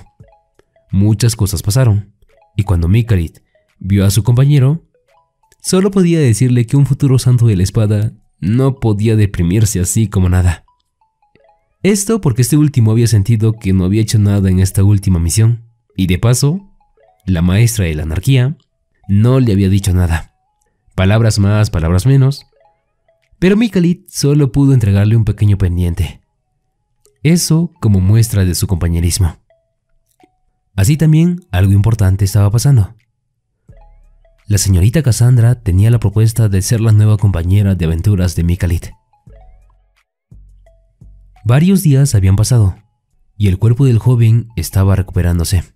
Seth tenía muchas preguntas, pero casi ninguna fue respondida. Mikalit sabía que las relaciones eran buenas, pero no era necesario que Seth supiese de su regresión. Con la ayuda de y propuesta de Seth, a Mikalit se le ocurrió buscar los registros de Tot. Eso en una caverna que no había tenido que ser asaltada aún. En el pasado, tenía el recuerdo de haber absorbido el disco de Tot, pero por ahora era necesario encontrar el registro filtrado de Tot. Y no solo eso, era necesario encontrar varias cosas que por el momento eran vistas como parte de una deidad, no olvidando al sabio Hekau, el cual era muy importante para esta misión. Seth parecía saber algo de Hekau, pero solo podía mencionar que eran necesario varias condiciones de invocación. Eso porque Todd no había dejado más información de la necesaria, y saber de eso, por el momento, ya era suficiente. Fuera de la capilla y con León al lado, Mikalit solo tenía una pequeña recomendación. Su padre no debía de estar muy feliz. Eso con respecto a lo que había pasado en estos últimos días. León quería darle su merecido por estar de bromista, pero en eso pasó algo que este último no esperó. Alguien lo estaba atacando.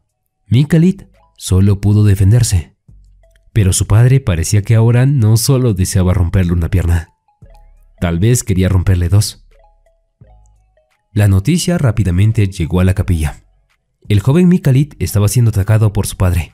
el señor de la casa de los Walpurgis. Como lo esperado del líder de la casa principal, los ataques eran de alto nivel. Rayos y muchos hechizos estaban siendo lanzados. Con la ayuda de Seth, las cosas no pasaron a mayores.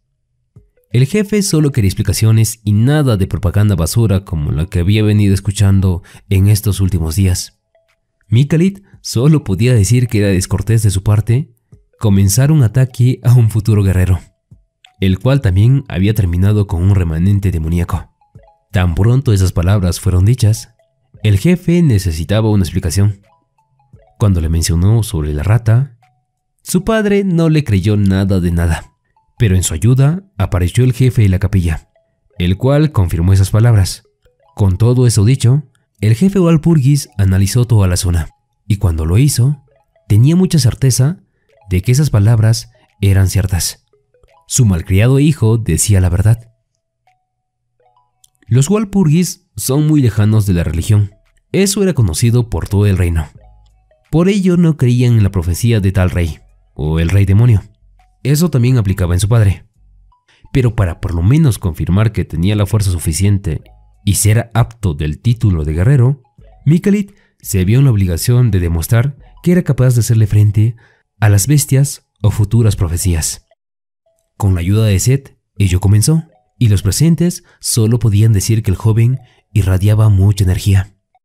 Con todo y explicado, este le presentó a su compañero y futuro miembro del grupo principal del guerrero. León, el cual también le confirmaba al jefe Walpurgis que su hijo decía la verdad. Muchas explicaciones más tarde, el jefe solo podía decirle que lo dejaba en sus manos. Mientras Mikalit pensaba en las cosas que podía hacer, una nueva visita había llegado. León deseaba que su servilleta cumpliese la promesa de la vez pasada. No pudiendo negarse, así lo hizo. En un par de minutos, las runas fueron cantadas, y como tal, León entró a un profundo sueño. La bienvenida al dominio estaba dada. León se preguntaba qué era esto. Cuando intentaba investigarlo, una sombra se le había acercado. Este afirmaba ser una ilusión.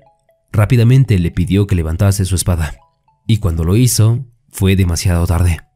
El chico había sido eliminado.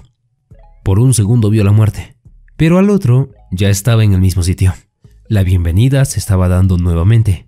Este era su dominio. La sombra apareció y cuando lo atacó con un movimiento de la técnica Muller, la sombra no se movió. Cuando este parecía ser una ilusión, nuevamente cayó derrotado. El sueño en ese orden había terminado. León se levantó de la cama y quería saber quién era ese tipo. Solo quería una oportunidad más y le haría morder el polvo. Mikalit no se lo podía decir, pero aquellos minutos había estado luchando contra la sombra de su futuro yo.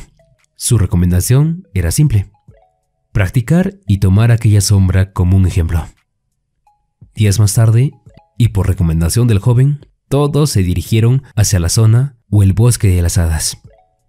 Varios de los presentes, entre ellos el mayordomo y el guardián de Cassandra, tenían mucha desconfianza de las hadas y los enanos. Las razones muchas. Pero, con lo que respectaba a Mikalit, él solo deseaba una rama del árbol del mundo. Quería completar su arma principal. La pregunta más grande que tenían era del cómo encontrar tal árbol, ya que desde tiempos antiguos existían relatos de que solo algunos podían hacerle frente, o mejor dicho, podían encontrarlo. Sin mucha explicación, Mikalit ya tenía un plan muy bien trazado y listo para ser ejecutado. En el pasado, cuando llegó a tal árbol, este ya estaba seco. Las razones fueron muchas, pero ni siquiera el rey de las hadas pudo hacer nada para salvarlo de este destino. Seth, al estar enlazada con Mikalit, sabía muchas cosas, como por ejemplo que conocía el árbol del mundo y que ésta era un pilar de resistencia del rey demonio. Cuando llegaron al árbol del mundo, ésta muy gentilmente les dio la bienvenida. Varios minutos más tarde, y luego de una explicación de que el hombre ahí delante era alguien muy especial, muchas cosas tuvieron que ser explicadas. Primero, que conocía los registros de Tot. Al escuchar ello, Yggdrasil, la guardiana, solo podía decir que el rey demonio era muy codicioso. En su causa, había tomado una decisión muy fatal. En términos humanos, se sacrificó en nombre del reino, y en su esfuerzo, terminó gastando toda la vida del árbol. Al escuchar ello, la propuesta fue corta. Mikalit deseaba ayudarla, en especial porque aún quedaba tiempo para hacerlo. En el pasado, cuando el árbol murió, el rey demonio había tomado esa apertura para poder escapar. Ahora eso tenía que cambiar. Para ello Yggdrasil mencionaba que le quedaban cuatro días, tiempo en el cual se restauraba o se perdía completamente. Cuando el guardián lo aceptó, Mikalit tenía un pedido. Necesitaba una de las ramas del árbol del mundo, un regalo o compensación previa para ayudarla. En las faldas del árbol, un elfo estaba pidiendo ayuda para proteger el bosque. En su respuesta, el árbol le mencionó que aún quedaba tiempo y que en el debido momento alguien iluminado por su luz llegaría. Al irse esa voz, el elfo tenía una duda. ¿Cómo iba a encontrar a tal elegido? Pero en sí no hubo necesidad de buscarlo. Este ya estaba tras suyo. Varios minutos más tarde, el elfo se ofreció a llevarlo a la ciudad. Por el momento, Mikalit tenía que hacer varias cosas, entre las cuales se encontraba ayudar al rey de las hadas, que futuramente sería atacado por un remanente del rey demonio. Cuando llegó el momento adecuado, habían varias notificaciones que habían intrusos demasiado cerca. Estos no representaban un problema grande, ya que eran los muchachos que estaban en busca de Mikalit. Varios minutos de una calorada discusión con el mayordomo después, y al haber recibido un pago por su ayuda, todos tenían que ayudar a cumplir la tarea que se le había dado a Mikalit. Desde el principio de los tiempos, las hadas y los elfos viven juntos. En la actualidad, eso no cambió. Y un ejemplo de ello es la elección de un rey de las hadas, pero que en esencia es un elfo. Con la cálida bienvenida de las hadas, y claro, también de los residentes del lugar, llegaron a los aposentos del rey. Su hija le presentó al joven de enfrente, un elegido del árbol del mundo. El rey no podía creer en esas palabras así como tal, pero con la demostración de que tenía en su posición una rama del árbol del mundo, fue suficiente. Con esa declaración solo tenía un pedido. Necesitaba que le dieran acceso a sus talleres, y en específico, al taller o la fuente de Urt, un gran herrero élfico que hacía armas para los reyes en el pasado. Sin pensarlo mucho, Aquella propuesta fue aceptada. Luego también de enterarse que el árbol del mundo estaba en malas condiciones a razón de los remanentes del rey demonio. Los presentes no lo podían creer, pero al mencionarles que el árbol actualmente está por perder la batalla y que no podía comunicarse, tuvieron que aceptarlo. El pedido de mostrarle la fuente de Urt fue cumplido. Pero antes de que hayan salido del cuarto del rey, este tenía una advertencia. Al comenzar la forja en la fuente de Urt, los remanentes se darían cuenta y como tal podían representar una gran amenaza para todos los presentes. En pocas palabras, era una declaración de peligro para todo el bosque mágico. El rey solo pudo hacer una cosa, defender el bosque mágico con todas las tropas disponibles. Lo mismo aplicaba para los compañeros y la profeta. Cassandra y León tenían la misión de ayudar hasta que el arma se termine. La hija del rey los llevó al lugar destinado. Cerca de la fuente, la pregunta fue si sabía usarla. Mikalit lo confirmó.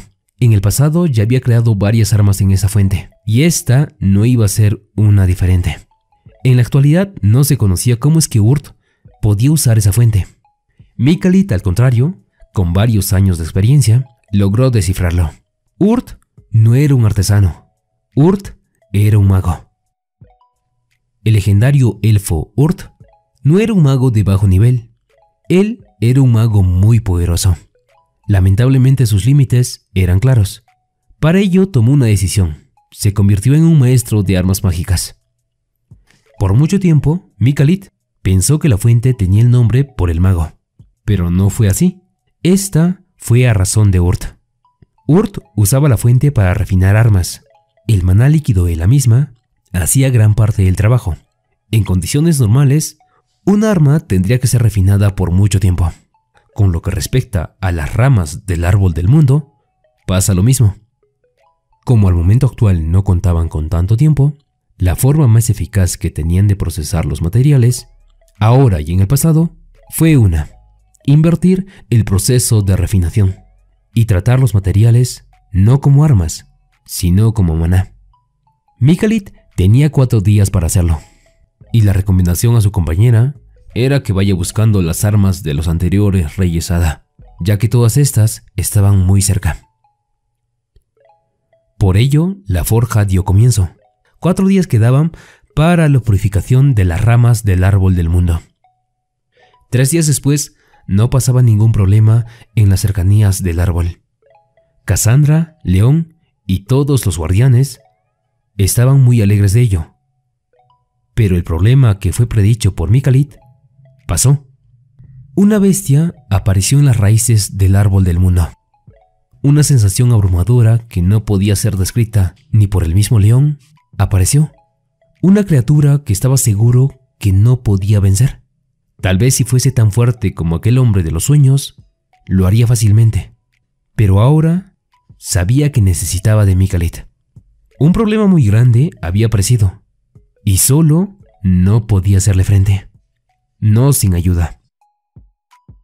Todo el bosque de las hadas estaba listo para cualquier problema, y el ataque coordinado en contra de la bestia era una prueba de que ello era correcto. Como lo dicho por Mikalit, la bestia oculta había despertado, y era cuestión de tiempo la caída de los muros mágicos de la fortaleza. Esta como tal no resistiría por mucho tiempo.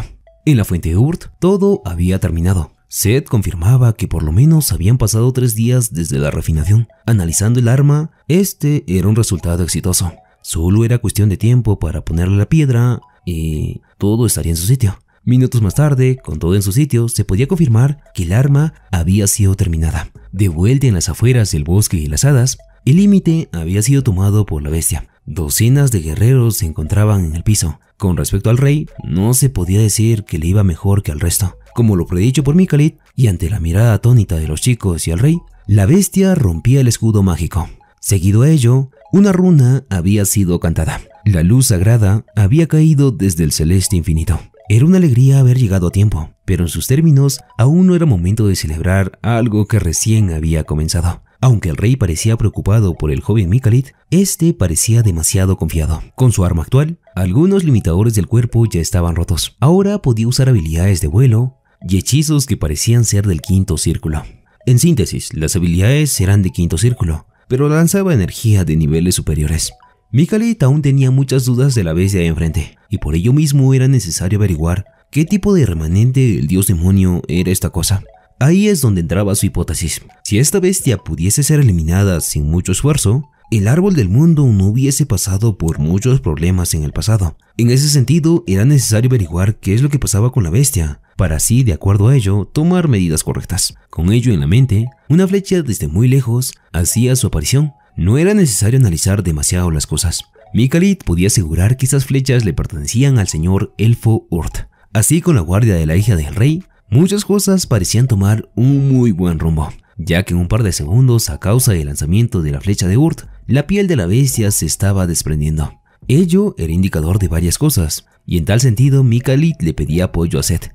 Había una actividad que tenía que hacerse antes de que cualquier otra cosa llegase a pasar. Esta actividad se iba a realizar en las entrañas de la bestia. Algo fuera de lo común debía esperarle al hijo de los Walpurgis dentro de la bestia. De ello estaba más que seguro. Internamente la bestia era asquerosa. En palabras de Seth, esencialmente era muy parecido a él. Ya dentro del mismo, ello se podía confirmar. Era horrible y dentro del mismo cuerpo habían varias bestias de bajo nivel protegiendo un punto en específico. Si no hacían algo para terminarlos, estas bestias revivirían infinitamente. Con ello en mente, Mikalit hacía lo que debía. Expandía sus círculos, abría una puerta divina y sucesivamente eliminaba a las bestias en masa. Aunque los efectos de tal acción eran dañinos para el cuerpo de Mikalit, no había nada que hacer para arreglar todo esto. Si bien la magia usaba mucho maná, en este estado Mikalit lo sabía. Solo resistiría 5 minutos más. Entonces sí, su misión era esa, terminar con el remanente en ese tiempo. Segundos más tarde, este lo encontró. El ojo del dios demonio era un remanente. Si no se equivocaba, le quedaban menos de 3 minutos para terminar con la bestia. Así, era necesario que llegase a cooperar, ya que si no, habrían muchas cosas que podrían llegarse a salir de control. Con un minuto en la bolsa, la habilidad destello era activada. Con una señal en la mano, a 30 segundos de estar por cerrarse el círculo de Set, una flecha desde el exterior impactaba en la bestia. Era seguro que era la hija del rey demonio, la cual estaba haciendo demasiado bien su trabajo. Así entonces todo estaba dicho. En el pasado y en la actualidad, el árbol del mundo había hecho una resistencia, pero a diferencia del pasado, en esta lucha los vencedores eran otros. El hechizo del séptimo círculo, girasol, había sido lanzado. Aquel hechizo que le había enseñado el árbol por primera vez en esta época había salvado la vida de la guardiana. Se suponía que el árbol había dejado todos los sentimientos atrás, pero estos momentos eran dichosos de sus lágrimas. Todos los presentes lo sabían. Este era un nuevo comienzo y todo volvía a estar bien. El papel se había invertido. Ahora el árbol del mundo estaba usando el remanente del rey demonio como energía, y tal acción ya era un recuerdo que quedaría dentro de la historia. El remanente del rey demonio había sido exterminado, y ahora los remanentes del árbol del mundo volvían a su origen. No había sido necesario la regeneración del árbol por varios años. Este inmediatamente, con la magia lanzada por el joven, volvía a su color anterior. Así entonces el árbol del mundo se estaba sacudiendo para levantarse de nuevo. Así entonces, en palabras de Mikalit, era momento de que la hija del rey se levantase como el árbol. Los agradecimientos de la guardiana del árbol no se hacían esperar. Como la mayoría de las promesas estaban cumplidas, había llegado el gran momento de la despedida. Pero claro, no sin antes de que el árbol del mundo cumplase su última promesa. El trato aparte del bastón era su esencia, ello con el fin de mejorar uno de los círculos del joven. Pero como tal, la guardiana mencionaba que ese era un precio muy pequeño por haber salvado su vida. En tal sentido, le daría algo mucho mejor. Aunque Seth parecía muy confundida con que su hermana estuviese poniéndose de nuevo en una situación muy tediosa, esta última mencionaba que ello era por una buena causa. Los beneficios que le deseaba entregar a Mikalit era generarle un nuevo círculo y de paso poder convertir el cuerpo del contenedor en un cuerpo que no solo resistía maná, sino también energía. Para ello, el regalo era simple, unos mechones del cabello de la guardiana del árbol del mundo, los cuales debían ser usados a manera de talismán. Cuando el talismán estuviese en su mano, todo tenía que pasar en un par de segundos. Tal como lo pensado, el mechón comenzaba a hacer efecto, primero curando y regenerando las heridas a una gran velocidad. Al mismo tiempo, uno de los círculos se ampliaba haciendo girar maná a grandes velocidades. Si bien esa velocidad tendría que romper un recipiente tan joven como Mikalit, la regeneración que le otorgaba el amuleto era mucho más eficaz que las vueltas que daba el maná. Así, unos minutos más tarde, podía presumirse que había llegado al sexto círculo.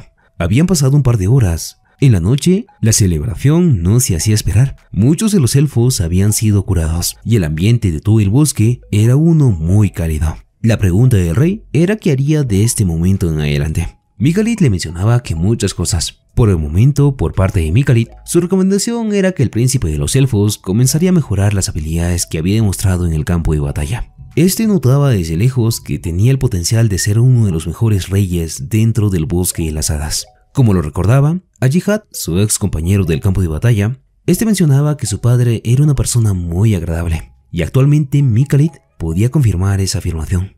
Con todo en su sitio, el rey hacía una declaración con todo el pueblo.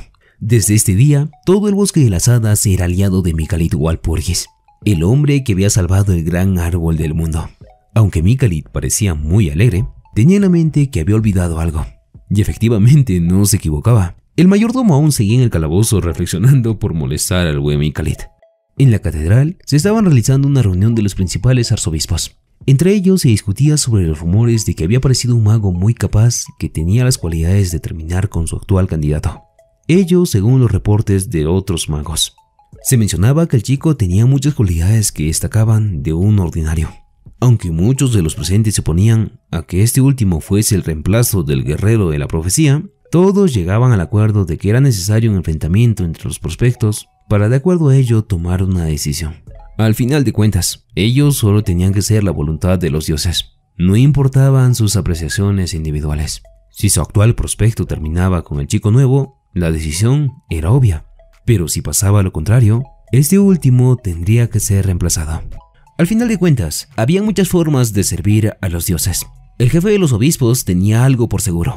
Era necesario comprar un poco de tiempo para que su apoyo, o sea Mikalit, demostrase sus habilidades en el campo de batalla. Al final de cuentas, notaba que muchos de los presentes se inclinaban la balanza hacia el otro joven, o sea, hacia Siegfried. La hija del rey se despedía de los chicos. Mencionaba que necesitaba mejorar sus habilidades con el arco y solo así podía ser una gran compañera de Mikalit. En ese sentido, su promesa era ayudarlo algún día. Por el momento estaba muy seguro de que Mikalit sería el guerrero más fuerte del reino. Confiaba en que se esforzaría y que muy pronto lo encontraría en la cima de su generación. Con respecto a Mikalit, este le mencionaba que era necesario que hiciera el contrato con el espíritu. Aunque la hija se notaba confundida, sabía que Mikalit decía lo correcto. Sabía que el espíritu estaba esperando por él. Así entonces la advertencia del príncipe era que se alejaste de las religiones. Había recuentos históricos de que por no ceder en sus posiciones, el mundo se había vuelto un campo de batalla. Eso en razón de una profecía falsa. Por ello también es que el bosque de las hadas se había separado del mundo, en razón de las batallas sin sentido. Mikalit lo sabía de primera mano. Recordaba haber corrido de manera interminable para arreglar las locuras de aquel idiota. El tipo ni de lejos pensaba que estaba siendo controlado por los ancianos de las catedrales.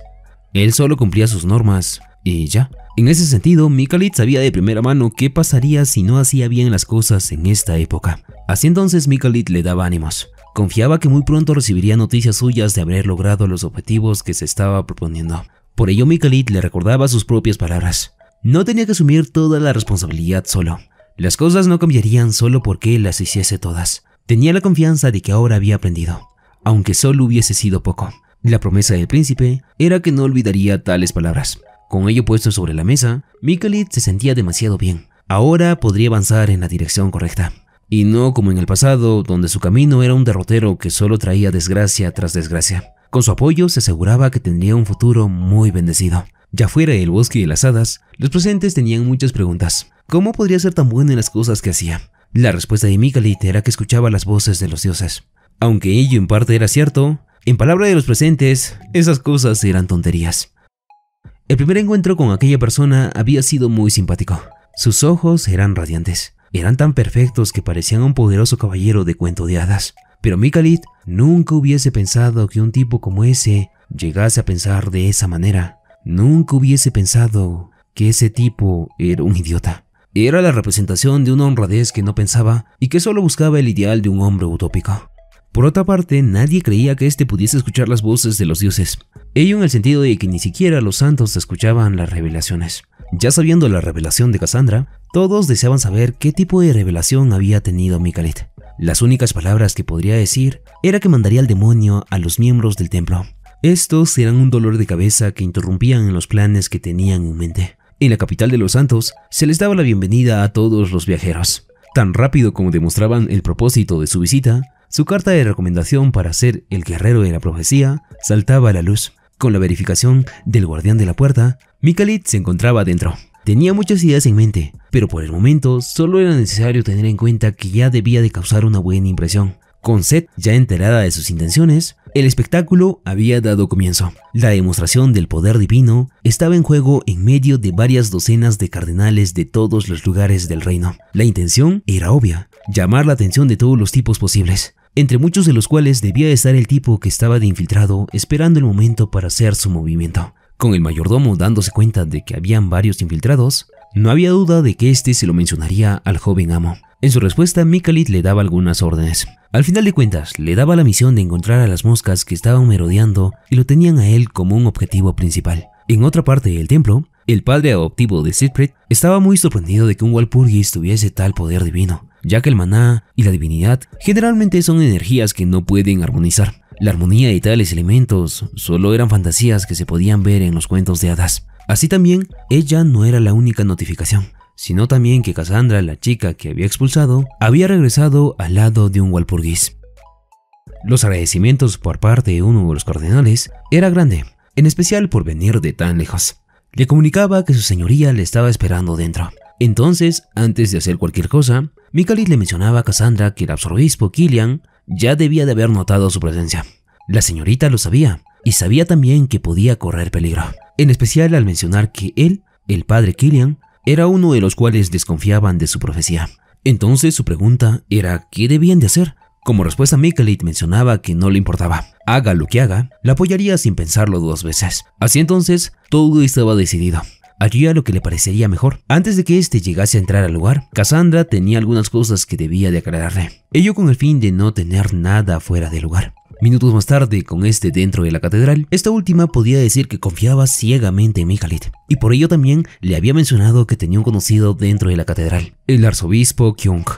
Por ello, aunque en el pasado no hubiese tenido el apoyo de casi nadie, ahora con Mikhalit había la certeza de que las cosas debían de cambiar. Este último lo podía asegurar. Dentro de la catedral, el recepcionista le mencionaba que le parecía un tipo muy sorprendente. Ello en el sentido de que la demostración divina de la fuerza de los dioses era muy espectacular. Le veía mucho más futuro que al guerrero actual. Segundos más tarde, Mikali le mencionaba que le caía muy bien, ya que era de los pocos que se habían dado cuenta de que el actual guerrero sufría de algunos trastornos que lo volvían a alguien muy emocional, o en su defecto, alguien demasiado estúpido. Así entonces ya era momento de entrar en la catedral principal, donde el Papa Gregorio tenía que estar esperando a los guerreros. Para su sorpresa, el Papa no era el único que se encontraba dentro de la sala. Muy cerca de este se encontraba el tipo que había condenado a todo el continente en su anterior vida. Minutos antes de que Mikalit hubiese entrado al lugar, la pregunta a la señorita era del por qué nadie había creído en su profecía.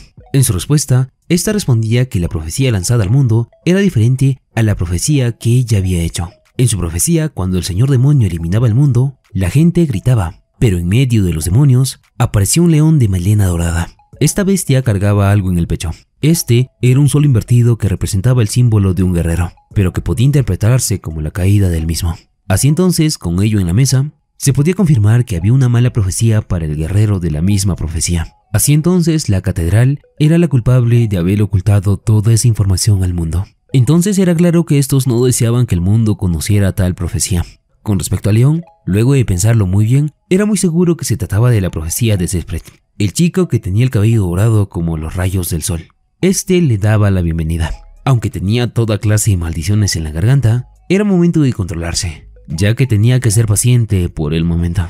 Aún con tanta rabia en la sangre, Mikalit debía de guardar muy bien las apariencias, y por ello mismo se presentaba de la manera más formal en la que podía. En términos de los presentes, era muy sorprendente que un joven de su estatus conociera saludos tan formales, pero como tal, ello ya era parte del juego de Mikalit para acumular puntos. El cardenal le presentaba a Céspred como un miembro destacado de la Orden de la Catedral. Actualmente, en la orden se presentaban dos candidatos. Los dos estaban enfrente, por ello también era necesario que se calificase de la forma más imparcial posible a ambos. Como parte de la formalidad, Siegfried le estrechaba la mano a este último. Al ni siquiera tocarle la mano, Mikalit sentía las intenciones de este último. Sus intenciones eran salidas de lo normal, pero a este último no le importaba ni un poco.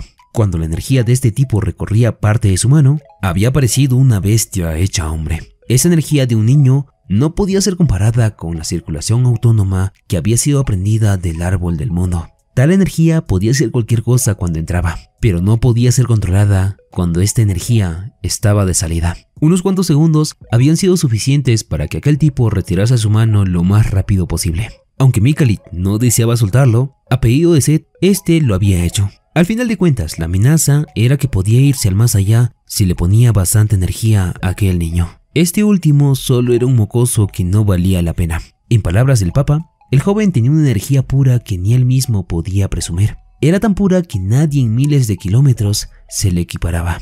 Como tal, Mikalit se presentaba como un representante de Dios. Con las pruebas sobre la mesa, el cardenal le preguntaba si había recibido alguna revelación últimamente. En su respuesta le mencionaba que no, aunque Seth mencionaba que era un mentiroso muy bueno, el tipo de alado no podía aceptar que un simple hombre pudiese presumir tal título. En su respuesta, Mikalit mencionaba que un guerrero era alguien especial. Un guerrero no era alguien que recibía la voluntad del Papa o de algún arzobispo.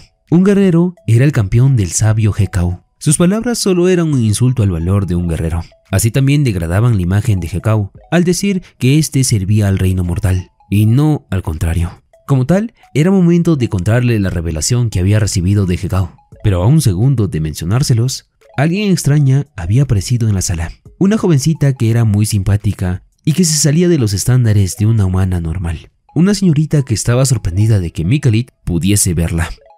Así, con esa revelación, un espacio-tiempo había sido creado enfrente de los presentes. A forma de cortesía, ella se presentaba como Hekao, pero a simple vista, con esas características, no parecía ser una diosa. Mikalit parecía ser grosero, pero la señorita no le inspiraba demasiada confianza. Tan rápido como ello era dicho, Hekao quedaba sorprendida de por qué su amiga Seth estaba en tan deplorable condición al lado de un humano. Como defensa, Seth mencionaba que esta diosa solo era la creadora de medio azar. Dichas tales palabras, la ira de la señorita no se había hecho esperar. Al final de cuentas, esta sinvergüenza le estaba haciendo quedar mal frente al joven que era muy talentoso. Aún así, Hekao se preguntaba por qué Mikalit no tenía una mirada de miedo o de respeto. En su respuesta, Mikalit le mencionaba que no lo diría en frente de alguien que no se preocupaba en nada. Al final de cuentas, mientras ella perdía el tiempo, muchos remanentes, como había pasado con el árbol del mundo, se estaban esparciendo por todo el continente. ¿Qué respeto se merecía una diosa que permitía eso? En respuesta a ello, esta última mencionaba algo especial. Tenía sus motivos. Sus palabras no estaban saliendo. Era la llamada de una diosa, pero como tal, no era completa. Estaba cerca de ser una, pero aún así la perfección no llegaba. En palabras simples, su voz no podía llegar al alcance de los niños. Su voz no podía llegar a todos sus arzobispos. Por ello también tenía algo especial para Mikalit. Deseaba que buscase la razón del por qué no podía comunicarse con ninguno de sus súbditos, y a cambio de ello le daría una recompensa. Con ello dicho, el tiempo volvería a su normalidad, y los presentes esperarían a que Mikalit completara sus palabras. Con algunas cosas cambiadas, o si el trato hecho con Mikalit, sabía que era momento de lanzar la carnada. Y esa carnada era una verdad a medias. El dios mencionaba que estaba muy decepcionado de las catedrales. Como esperaba, la reacción del protegido de Killian era de respuesta. Y con ello también demostraba que no tenía nada de madurez. Al momento no era muy inteligente de su parte contrariar algo que no había sido confirmado por verdad en su totalidad. Así también Dios mencionaba que algunos arzobispos estaban aprovechando de su posición. Aunque Mikalit no había sido muy directo, era seguro que el Papa lo había entendido, y efectivamente, ello fue confirmado unos cuantos segundos después. Aunque al finalizar la conversación, las palabras de Mikalit eran cortas. Todo iría mejor de este momento en adelante. Incluso si el futuro no quería cooperar, se aseguraría que éste iba a cambiar. Fuera de la catedral, para su sorpresa, Mikalit notaba algo en su cuerpo. Un nuevo estigma hecho por Hekao, si veía así su actual cuerpo, en el futuro era muy probable terminar lleno de marcas. Esto era muy posible. Así entonces, primero que nada, era necesario ir con Cassandra para arreglar algunas cosas. Fuera de la catedral, un tipo armado le preguntaba a León dónde se encontraba la profeta. Deseaba verla. Aunque el caballero de la profeta parecía estar siendo intimidado por el caballero, León no lo dejaría solo. Tenía por pensado ayudarlo aunque unos segundos más tarde notaría que al tipo con el cual se enfrentaba era el caballero Harvey, un vicecapitán de los caballeros sagrados. Aún con la ventaja encima, Parslop no tenía ninguna intención de retroceder. Con la señorita aún pasmada de lo que pasaba, los dos caballeros chocaban sus espadas. Luego de una charla bastante interesante, era muy claro que el arzobispo Killian controlaba al tipo que estaba enfrente. Cassandra, por su parte, estaba segura que si lo acompañaba, nunca más podría salir de la iglesia. Con el caballero no queriendo retroceder, alguien hacía su aparición. Un campo de fuego estaba siendo puesto en marcha y el ataque estaba siendo dirigido al caballero de Kilian. Sin siquiera verlo, esta última sabía que se trataba del joven prospecto, el cual estaba muy decidido a proteger a la señorita Cassandra. Con el tipo aún enfrente, Mikali tenía una justificación para que éste desista de su misión. La razón que le ponía era simple. La señorita no volvería a la iglesia en razón de que era miembro de un grupo o del futuro grupo de un guerrero. O sea, esta nunca había huido con un fin ajeno a la iglesia, por ende, no había roto ninguna regla. Las opciones que le ponían al caballero era primero atacarlo o mantenerse en su posición, o segundo, acatar la ley de la catedral y dejar libre a la señorita Cassandra. Pero claro, tenía que tener en cuenta que si elegía la primera, tendría un futuro guerrero como un enemigo de toda la vida. Así entonces, el tipo lo aceptaba, lo dejaría por ese día. En ese sentido, Mikalit mencionaba que era momento de dejar las cosas en su sitio y comenzar a conversar. Y para ello, era necesario que Helen, el caballero que estaba atrás, se quitase el casco. Mientras pasaba el tiempo, había sentido algo fuera del lugar. Era una vibra muy similar. Sentía conocerla de algún lugar. Y como tal, Mikalit parecía no haberse equivocado. El caballero de enfrente lo aceptaba. Al final de cuentas, era un maestro muy fuerte y digno de confianza. Así se presentaba como Eda, o mejor dicho, la hermana menor del candidato a guerrero, Siegfried. La explicación era muy simpática.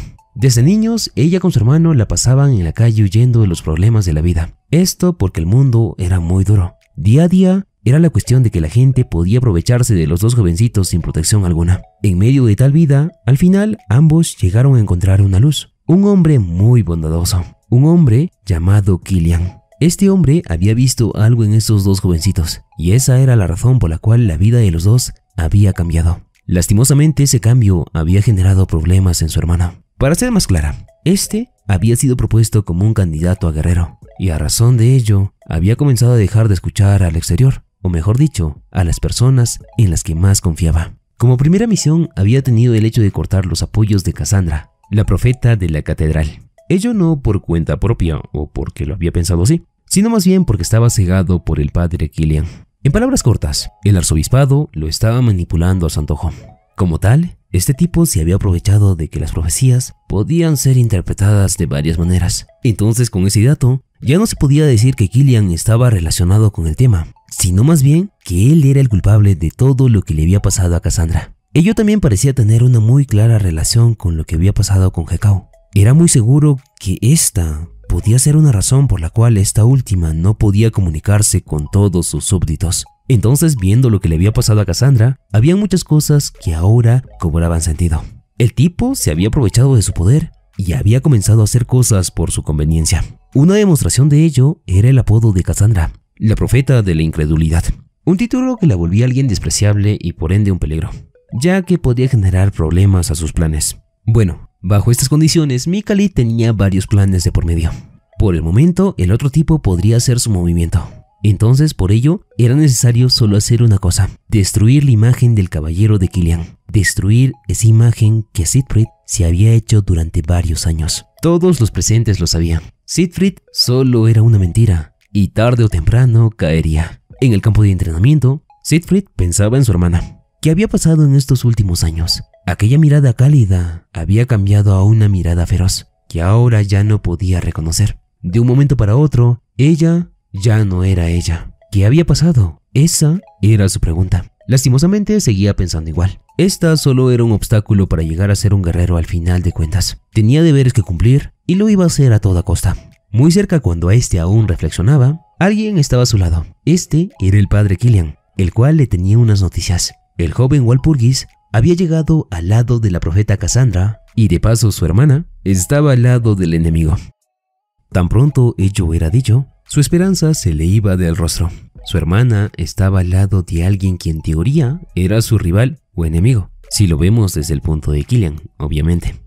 Así entonces la cosa era demostrar la mejor cara que podía ante el reino, ello con el fin de ser seleccionado como el guerrero de la profecía. Así entonces había pasado una semana desde tal día. La pregunta del guerrero era en qué venía pensando en estas últimas semanas. Mikalita aún no hacía nada, y como se veía el ambiente, mencionaba que el rival ya había sido elegido, eso sin que él ni siquiera hubiese entrado a la competencia. En estos últimos días, dentro de la iglesia, todos los padres habían tenido una acalorada discusión de saber quién era el mejor prospecto de guerrero. Y en tal situación, los rumores corrían al hecho de que el arzobispo Kilian junto con otros arzobispos declaraban su apoyo con Setfred, un miembro también de los caballeros sagrados del reino. Como era normal, era natural que tales se pusieran de su lado. Al final de cuentas, ellos lo habían propuesto antes de que Mikali hubiese podido presentarse. Parslop lo sabía, Mikalit no hubiese esperado tanto así como nada. Era seguro que tenía un plan de por medio, porque siendo sinceros, el enemigo actualmente ya tenía más de la mitad del apoyo del arzobispado del templo. En su respuesta, Mikalit podía decir que ello no representaba a todos, ya que había un sector de los arzobispos que también se habían opuesto a dar alguna opción y solo se mantenían neutros. Hasta que los resultados hubiesen salido claros, por su parte no haría nada.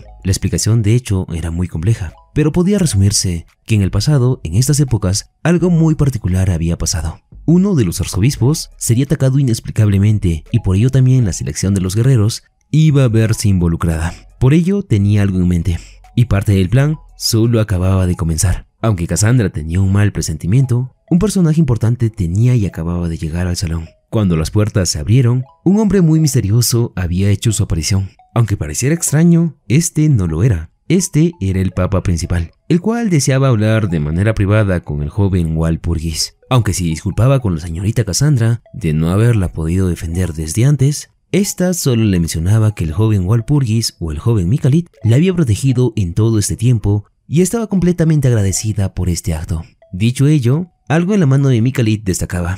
Ese era un estigma de marca de alguien que conocía. Esa marca era de Hekau. Todo ello pasaba mientras Mikalit mencionaba que muchas cosas en las iglesias debían de cambiar. Eso si no querían que pasaran catástrofes en todo el continente. Al día siguiente, frente al asombro de todos los cardenales y arzobispos, Killian nos explicaba por qué pasaba esto. De un momento para otro, el ex arzobispo declaraba su completo apoyo hacia el nuevo chico.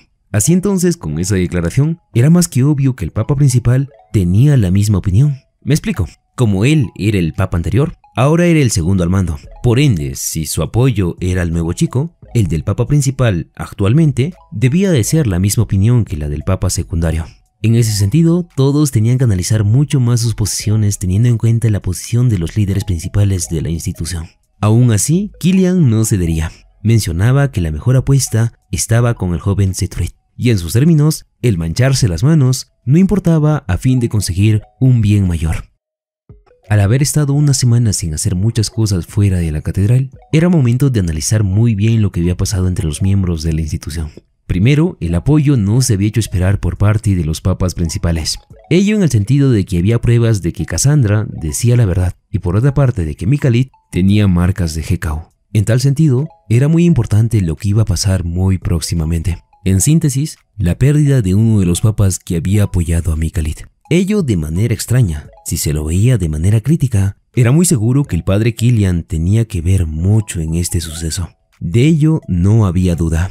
Tal como lo recordaba después del incidente, el apoyo al Papa principal se había hecho muy estrecho, y a razón de lo mismo, Killian era el más beneficiado. Así, minutos más tarde, hacía su aparición Mordin. Este tenía muchas noticias para el joven amo, en especial el hecho de que su descanso había sido demasiado largo, ello en el sentido de que había localizado lo que había perdido. En sus términos, la iglesia tenía un olor horrendo y ya había localizado de dónde provenía tal olor. En tal sentido, también había una advertencia. Parecía que otra energía provenía del arzobispo Killian y de en medio de las instalaciones de la Torre de los Guerreros. Al haber demostrado, Mikalit le tenía un regalo especial a Mordin, pero en tal sentido le mencionaba que muy pronto se lo daría. El tiempo estimado del regalo era al terminar la misión que tenía en mente. Así horas más tarde, junto con León, ambos tenían intención de ir donde los caballeros. En tal sentido, era necesario su presencia. Por otro lado, le tenía preparado algo especial. Al entregárselo, tal objeto solo parecía ser un palo de espada. Pero no era simplemente eso. Esta cosa era algo mucho más especial. Esta arma usaba maná para una actividad en específico. Ni bien ello era dicho, León la probaba. Pero había algo muy raro en la misma, ya que el arma no tenía filo. En sus términos, la forma correcta de usar la arma era haciendo brotar la energía para el exterior.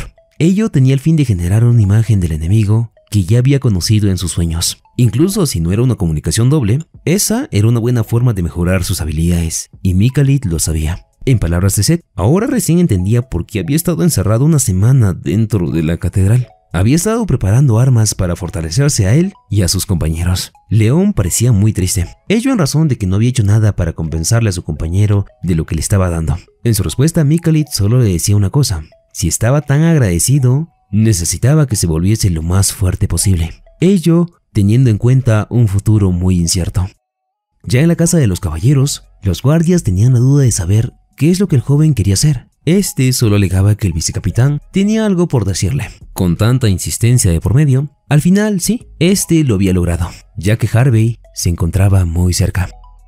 Con Harvey enfrente, Mikalit le tenía algo preparado. Su joven compañero León deseaba luchar con él, ello en razón de que la última vez no lo había podido hacer en razón de varios problemas. La provocación era simple, en el sentido de que si el vicecapitán no aceptaba, confirmaría que lo de aquella vez solo había sido un capricho suyo. En tal sentido, mientras ellos peleaban, Mikali tenía la intención de estudiar toda la estructura de la Catedral de los Caballeros Sagrados para buscar una normalidad. Al final de cuentas, era un guerrero y la ley se lo permitía. Entonces, como todo parecía muy correcto, el vicecapitán lo aceptó. Al final de cuentas, solo parecía ser un calentamiento. En el transcurso del camino, Mikali tenía muchas dudas entre las cuales estaban la duda de saber si últimamente había notado una presencia extraña muy cerca. En su respuesta, Harvey decía que no, nada fuera de lo normal había sucedido. Con el análisis de Seth, esta podía confirmarlo. Los símbolos de Hekau estaban correctos, pero había algo extraño dentro de los mismos. Ello pasaría a segundo plano cuando encontraron una inconsistencia. Algo raro era que en el templo en donde la fe de los sacerdotes rebosaba, en comparación del mundo, parecía ocultar un demonio muy en lo profundo. Ello en síntesis no era imposible, en el sentido de que existía un demonio con tal capacidad de camuflación. Uno especial que era muy bueno rompiendo a sus presas poco a poco usando trucos sucios. Su forma de actuar era muy sutil, que con el paso del tiempo imitaba tan bien algo que el objeto perdía conciencia de sí mismo. Al preguntar a Harvey de si había algún problema, este mencionaba que ninguno, defendiendo con capa y espada a los caballeros dentro de su orden. Así entonces Mikalit solo tenía una opción, el análisis total de la zona. Ello a fin de localizar el principal problema. Así, en un par de segundos, había dado la vuelta por el castillo, de tal manera que el lugar que había localizado no estaba a la vista de los presentes. Definitivamente lo que estaba fuera de lo común se encontraba debajo de sus pies, en el subterráneo de la catedral. Así entonces con Harvey mencionando que no había nada extraño, Mikalit se lo volvió a preguntar, pero esta vez con respecto a lo que estaba debajo de sus pies. Ni bien ello era dicho, algo había reaccionado frente al caballero, una sensación de incomodidad que al final se transformaba en una propuesta de acompañamiento de las catacumbas. En respuesta a ello, Mikalit se negaba. Al final de cuentas, tenía un duelo con León y él ya había conseguido un compañero que lo podía ayudar en su incursión. No había por qué tener desconfianza. Al final de cuentas, este era otro guerrero. Este era Siegfried de la Orden de los Caballeros Sagrados. En las catacumbas del lugar, su compañero seguía con la duda. Deseaba saber de una bendita vez por qué estaban bajando. En su respuesta, Mikalit mencionaba que esto no era lo que parecía ser. Este lugar no estaba abandonado. Siegfried deseaba saber por qué parecía que le tenía demasiado odio. En su respuesta, Mikalit le mencionaba que todo ello se debía a una simple razón. Todos los miembros de las catedrales pensaban que él había recibido un poder divino, y en razón de ello no debían de objetar y solo hacer. Esta era la representación de la cúspide de la autojustificación. La pregunta a Siegfried era saber si alguna vez había pensado en qué es lo que pasaba con los del alrededor por sus acciones. Este lo tenía claro. Nunca lo había hecho ni pensaba en hacerlo. Aunque el tipo mencionaba que sí lo hacía y pensaba en cada una de sus acciones, al preguntarle del por qué había hecho que echaran a la profeta de la catedral, no había tenido ninguna respuesta.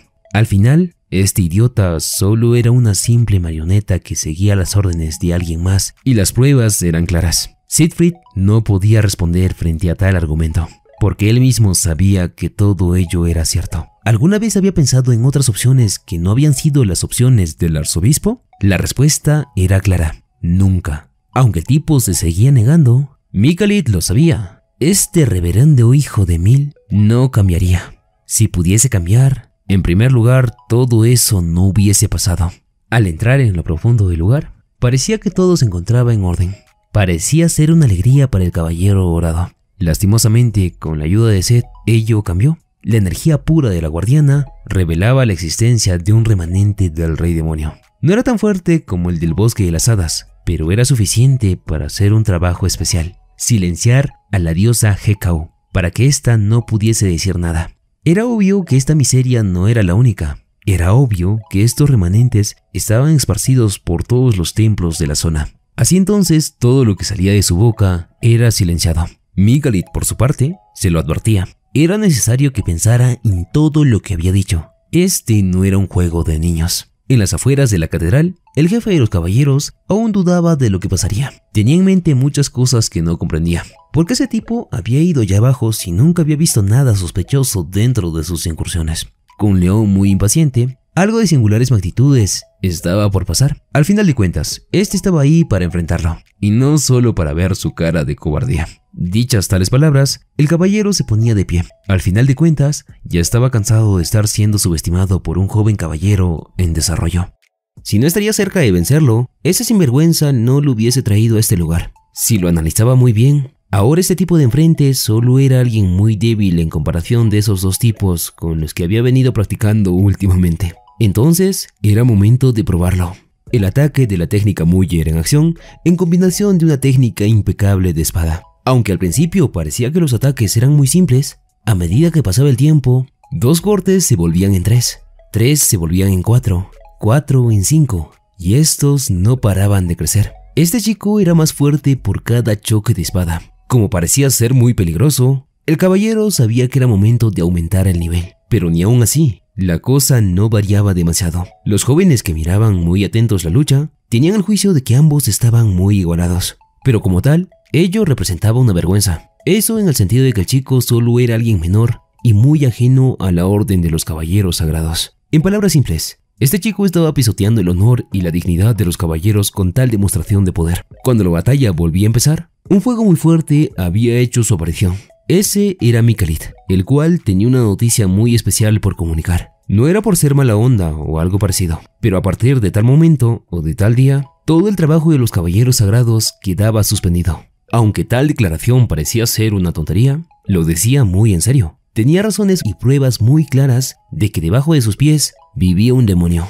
El testigo de ello era Siegfried. Así entonces, hasta que lo atrapasen, nadie saldría del lugar. Con ello dicho y luego de una demostración de habilidad del árbol del mundo, en conjunto del poder mágico de Set y Hekau, se aseguraba que la cantidad de energía divina era suficiente para encontrar al demonio. Segundos más tarde, pasaba algo que ninguno esperó. Un hombre llamado Wilson estaba tosiendo de manera descontrolada. Aunque se negaba a ser el demonio, varios segundos más tarde todos lo notaron. La bestia había usado la piel original y la bestia hacía con este lo que se le venía en gana. Con parte de la energía del árbol del mundo, todo se vio mucho más claro. La bestia oculta entre los cardenales era el demonio llamado Delos. Delos se preguntaba por qué alguien como él lo conocía. Pero Mikalit no solo lo conocía, este sabía que él era el comandante de la sexta legión de la mano derecha de Merrill y una parte también de la misma. Como tal, el tipo no podía hacer nada más, y por ello mismo, este se veía obligado a atacar de frente. Así entonces, como la bestia que terminaría con el arzobispo estaba descubierto, su plan debía de ser causar el máximo de daño antes de desaparecer. Y el daño más grande que podía hacer ahora mismo, sí, era terminar con uno de los candidatos a guerrero.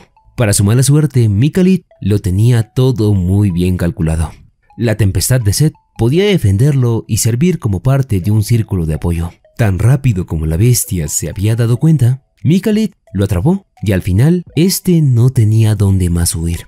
Antes de cualquier cosa, este último tenía un mensaje para Merrill. No le importaba cuánta maldad deseaba hacer, tenía plena confianza de que arruinaría cada uno de sus planes. Dicho ello, una lanza divina era clavada en el cuerpo del enemigo. Con este inmovilizado, la purificación no se había hecho esperar. Entonces, todo iba como lo planeado. Esta volvía a ser una victoria y un pequeño grano de arena más para cambiar las cosas que terminarían con todo el continente. Con tal demostración de poder, verdaderamente podía decirse que este sí era un verdadero caballero en todo el sentido de la palabra. En comparación de sí mismo, Siegfried no era nada, y él mismo lo aceptaba. Al final de cuentas, un candidato que estaba al lado del demonio ya por mucho tiempo ni siquiera lo había notado. Y en ese orden también sabía que él ni siquiera había querido entender que su compañero de toda la vida era el enemigo. Lo tenía que aceptar. Era un ser miserable, y de ello no había duda. Aún así, con algo de fe en los ojos, mencionaba que podría conseguir la mejora con más esfuerzo, pero viéndolo de manera más realista, esto también parecía ser una ilusión. En medio de ello, Mikalit mencionaba que esto era una decepción, en especial para una orden tan orgullosa como la de los caballeros sagrados. Si al menos querían ser considerados como caballeros, debían de haber notado la presencia del demonio y haberlo eliminado. Pero tal cosa parece que nunca hubiese pasado. Era aceptable que una persona ordinaria no pudiese hacerlo, pero ello para un caballero era imperdonable, en especial para una orden tan orgullosa como esta. Harvey mencionaba que no era así. Para su mala suerte, Mikalit tenía preguntas para este último. ¿Por qué había atacado el primer templo? Lo hubiese aceptado si verdaderamente su intención era acabar con los demonios. Pero era claro que aquella vez, este y toda su orden no habían hecho eso. Con ello más en la mesa, este último no tenía derecho a decir más. No tenía derecho ni siquiera a sentirse orgulloso de ser una facción importante del reino. No merecía ni una pizca de su respeto. Nada. Se lo preguntaba a. ¿Sus palabras eran ciertas? Y como tal, este último no tenía nada más que decir. Todo lo que mencionaba era completamente cierto. Pero aunque Mikali tenía la razón, este deseaba una última cosa. Deseaba verificar su poder con sus propias manos. Sí, este era un pedido de duelo. En su respuesta, Mikali tenía una sola condición. Si deseaba un duelo, era necesario pagar apropiadamente, y el pago podría ser el pendiente que el santo tenía dentro de su cuerpo. Dicho ello, el tipo ni lo pensó. Aunque Mikalit sabía que la defensa absoluta de la tempestad ya había sido usada, tenía la suficiente confianza de vencerlo.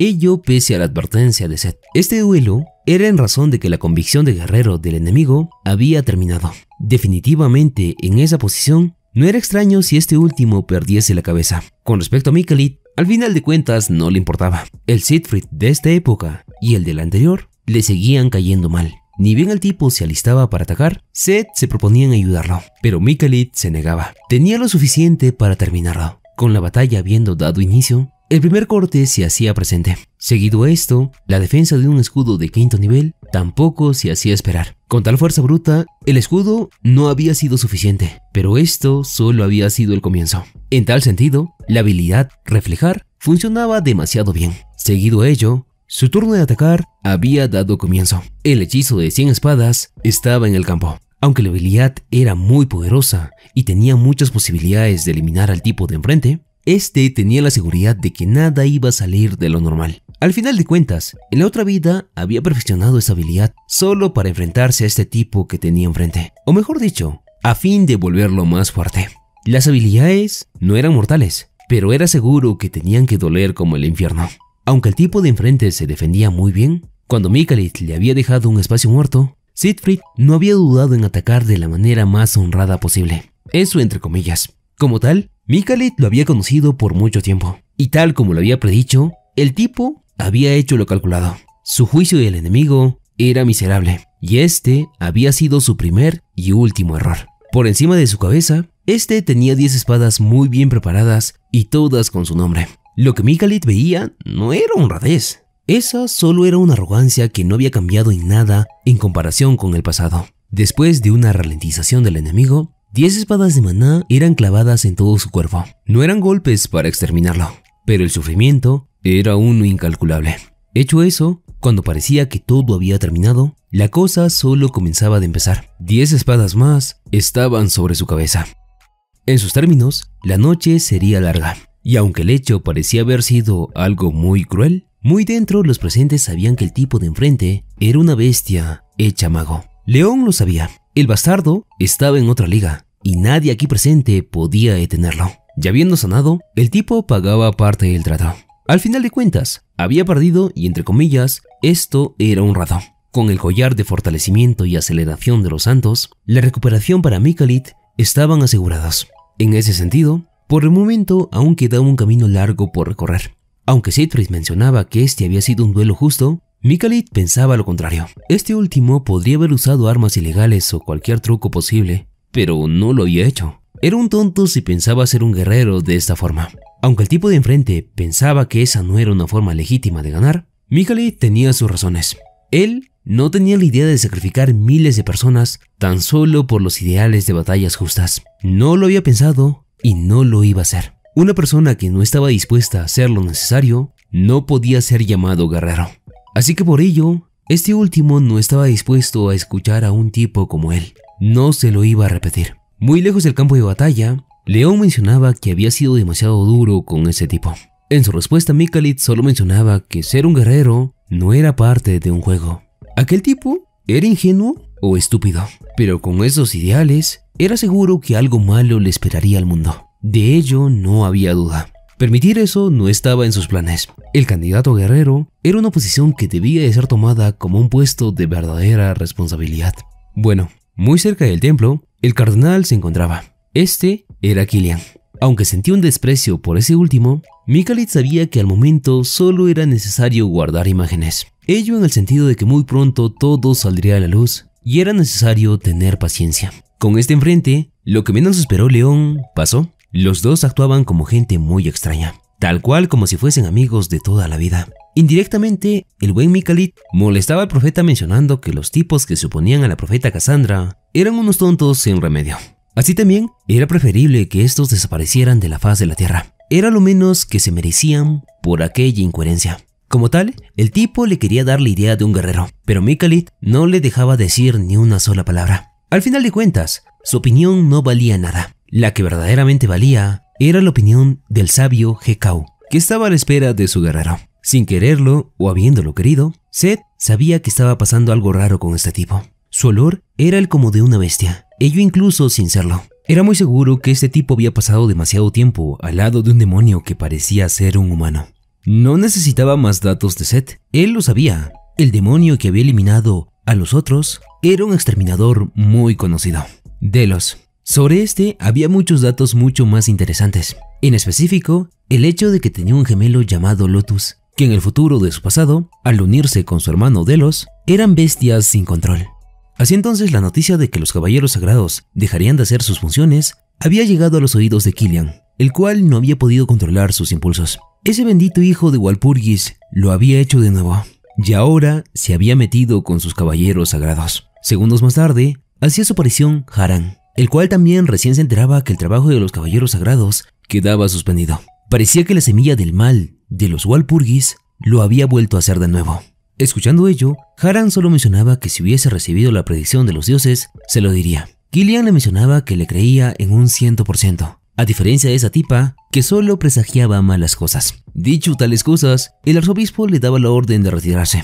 En tal sentido, este último lo hacía, pero con la advertencia de que muy pronto sus planes podrían salirse de curso. Mientras tanto, Mikalit estaba seguro de ello. Había un demonio más, entonces con las pruebas que tenía este al momento, el arzobispo confirmaba que tenía una conexión muy directa con los demonios, esto último sabiéndolo o no sabiéndolo.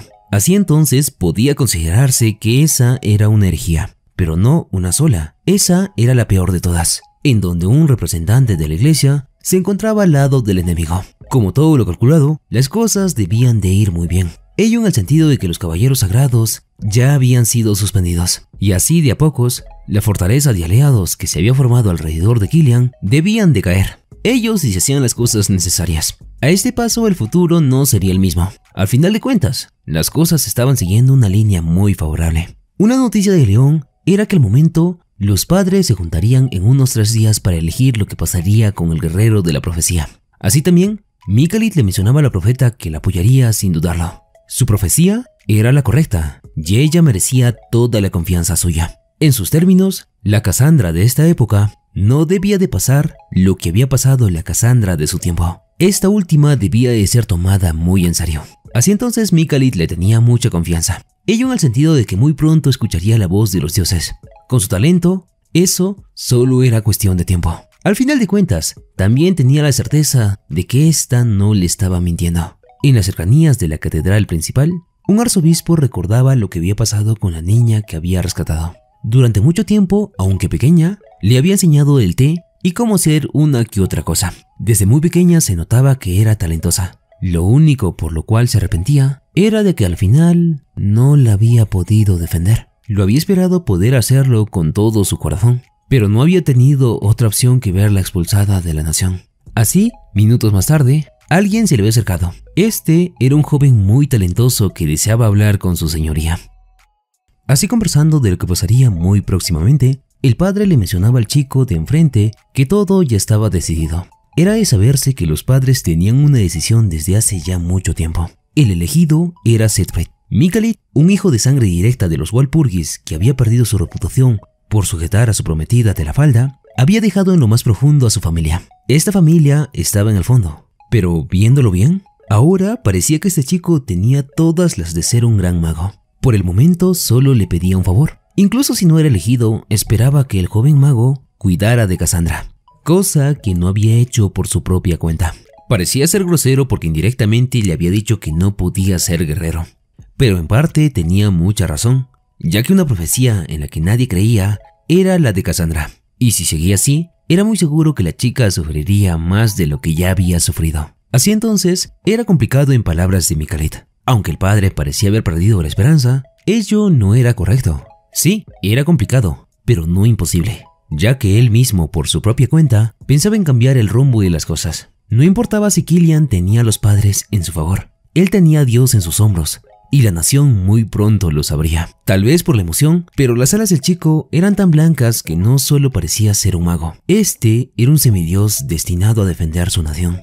Ahora ya se habían despedido, pero la razón por la que había venido a hablar con Narun había sido algo especial. No solo demostrarle la energía de Hekao, sino más bien para asegurar el apoyo de alguien muy importante, ya que este muy próximamente iba a terminar en el más allá. Y como tal, todo ello había cambiado. La marca del fin había sido removido sin que nadie se hubiese dado cuenta. Afuera de la catedral, Seth se sentía muy sorprendida de cómo los demonios habían podido hacer eso.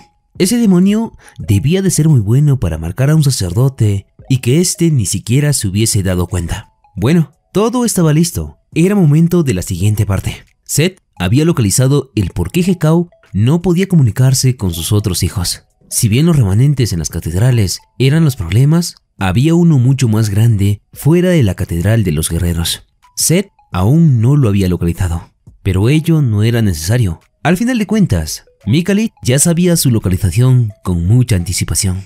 Con tal confianza, Seth estaba muy sorprendida, pero en su respuesta Mikalit le mencionaba que sentirse orgulloso era de esperarse, pero en sus palabras no era necesario que se notara tanto. Si bien Mikalit era un galán, ahora lo era mucho más, ya que tenía en sus manos a la muy simpática Seth. A dos días de la fecha acordada, Seth tenía la duda de que si lo que decía era correcto. Aún tenía la duda. Sin importar por dónde lo viera, ello era grosero. No entendía cómo es que el dios demonio tenía uno de sus ojos dentro de la tumba del primer guerrero. Si bien el primer guerrero solo había deseado una cama de flores a la hora de llegar a su fin, la gente se había pasado de la mano, ello al hacer un templo especialmente para él. Si el primer guerrero lo hubiese visto, era seguro que hubiese puesto de cabeza toda la nación. Al final de cuentas, había sido un insulto que hubiera ocho generaciones de guerreros que casi no habían logrado nada. Ya en el centro de la catedral, Seth tenía la duda de cómo es que el demonio podía haber hecho aquello. Pero para confirmarlo, solo era necesario echar un vistazo. Al final, una simple barrera no era suficiente para hacerle frente a Mikalit. Bueno, se mencionaba que era imposible que el guerrero hubiese tenido un rezago en su cuerpo. No había una habilidad para poder hacerlo, pero Mikalit lo sabía. Sí había. Lo tenía más que seguro. Los ojos habían sido integrados al cuerpo cuando el guerrero de la primera generación aún estaba vivo. Esa era una explicación del por qué pasaba lo que pasaba. Bueno, era necesario confirmar si la hipótesis era correcta. Y así, segundos más tarde, ello era así. La tumba había sido profanada. Y dentro de la misma había muchos rastros de ello. El hijo de los Walpurgis había acertado. Si bien hubiese deseado que ello hubiese sido falso, era también muy bueno encontrarlo en ese tiempo de manera temprana. Ello en razón de que muchas cosas podían prevenirse desde ahora. Aún en la catedral, Han, el supuesto vidente, se encontraba pensando en cómo usar al viejo. Segundos más tarde, lo había confirmado. Ese sinvergüenza del Walpurgis lo había descubierto. Había comenzado a rectificar lo que con años su ejército había logrado. Ese sinvergüenza estaba en la cámara del caballero. En las profundidades de lo que era la tumba del caballero, Mikalit aún analizaba las cosas. Lo que tal vez no esperó fue la presencia de él. El primer caballero aún estaba con vida. Mencionaba que lo había estado esperando. Así también se disculpaba de lo que pasaría en los siguientes minutos. Al final de cuentas, no era intención suya. Su cuerpo no respondía. Su cuerpo no podía hacer lo que su mente deseaba hacer. El dios de los demonios estaba en su médula y su cuerpo ahora ya no le pertenecía. Bueno, su pedido solo era poder terminar con su existencia. Ya no podía aguantar más este sufrimiento. Así, dicho y hecho, Mikalit se presentaba como su próximo sucesor, y en ese orden se defendía de las habilidades mágicas del enemigo. Aún al estar debilitado, Mikalit parecía extrañarse de cómo es que ese tipo tenía tanta energía. En tal orden, también tenía una duda mucho mayor. ¿Por qué aún no había usado su aura? La respuesta del tipo lo había dejado frío. El caballero mencionaba que él solo era un mago. Así también, al mismo tiempo se defendía de lo que el caballero le enviaba. Pero como tal, la duda seguía. Ello era imposible. Pero como su respuesta era corta y sencilla, en ese tiempo su santidad le había entregado una espada, porque mencionaba que le faltaba presencia. Esa cosa más bien no era una espada. Esta solo era una decoración. En sus términos, lo único que tenía de valor era su túnica de santo, una reliquia sagrada a la cual le había imbuido un sinnúmero de bendiciones. Así, el guerrero le pedía solo un favor. Deseaba que su sucesor tomara sus cosas y la carga que éste no había podido terminar. Aún así, faltaba algo. El final del cuerpo del gran guerrero. Este aún podía continuar, aunque su voluntad decía lo contrario. Ello era obvio. Eso se debía, en razón, al remanente del rey demonio. Al haber caído la última gota de resistencia, Mikalit lanzaba su expansión de círculo, que no solo llegaba al sexto, este se encontraba en el octavo. Dicho ello, la vez en el ojo salía con toda su fuerza y al mismo tiempo, Mikalit canalizaba su trono de hielo que pertenecía a dos círculos más arriba del nivel normal. Aunque la habilidad había sido magnífica, el caballero aún seguía en pie, y la magia del sexto círculo, que estaba en el campo, ya había terminado. Podía decirse que era el fin de su joven enemigo. Mikalit tenía las habilidades para detenerlo, y segundos más tarde, así lo estaba haciendo. Seguido a ello, una habilidad llamada Liberación estaba siendo activada. En un segundo, otra habilidad llamada Destello hacía su trabajo. Después de eso, al estar muy cerca del tipo, Mikalit parecía haber caído en la trampa de ese último. Aún así, ello no saldría como su enemigo lo había calculado. El hecho de ocultar un hechizo no era único de él. Su hechizo de cancelación era mucho más lanzado y mucho más rápido de lanzarse. Así entonces, ello era correcto. Lo había atrapado y no estaba dispuesta a soltarlo. Aunque el enemigo sabía que era imposible que lo derrotaran, seguían pensando en qué hacer luego de su intento fallido. Lastimosamente para él, lo que Mikalit había planteado se salía de los límites. El golpe que le daría no sería uno simple. El golpe que le daría sería una réplica del ataque del rey de las bestias. Aunque no tenía su energía, sus círculos le permitían replicar lo que éste podía hacer en sus momentos más fuertes. Y sí, el puño divino había sido ejecutado tal como lo había calculado. No era una copia exacta de la verdadera fuerza del rey de las bestias, pero había sido suficiente para poder eliminar el remanente del rey demonio. El espacio había cambiado, y era seguro que era una réplica de lo que un dios podía ser. Seguido a ello, aparecía su mayor, el hombre que había aguantado tal presión por más de ocho generaciones. Era sorprendente que su imagen hubiese sido diferente a la que le habían hecho en el templo. Bueno, al final solo podía decirle que era necesario que le hicieran una buena imagen en razón de mantener un buen ejemplo para los futuros jóvenes, o mejor dicho, los futuros guerreros. Lo importante no solo era una cosa, le encomendaba todo lo que algún día había defendido. Aquella era su nación. Durante mucho tiempo había llegado a casi rendirse. Eso frente a la presión del tiempo y la del demonio. Pero justo en el momento adecuado, en el que lo había dejado todo, algo había cambiado. Alguien había venido en su ayuda.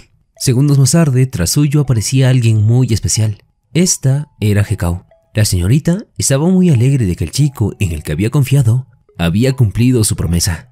Como tal, sus propuestas aún seguían en pie. Como muestra de agradecimiento por haberle ayudado, se comprometía en darle todo lo que su corazón deseaba.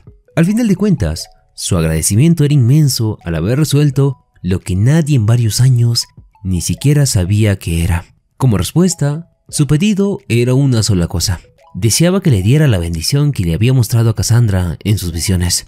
Al final de cuentas, por su culpa, había sufrido. Entonces era momento de arreglar las cosas. Como tal, Hekau no podía aceptar. Esa no era una compensación, en razón de que ello tenía que hacerse con su pedido o sin él mismo.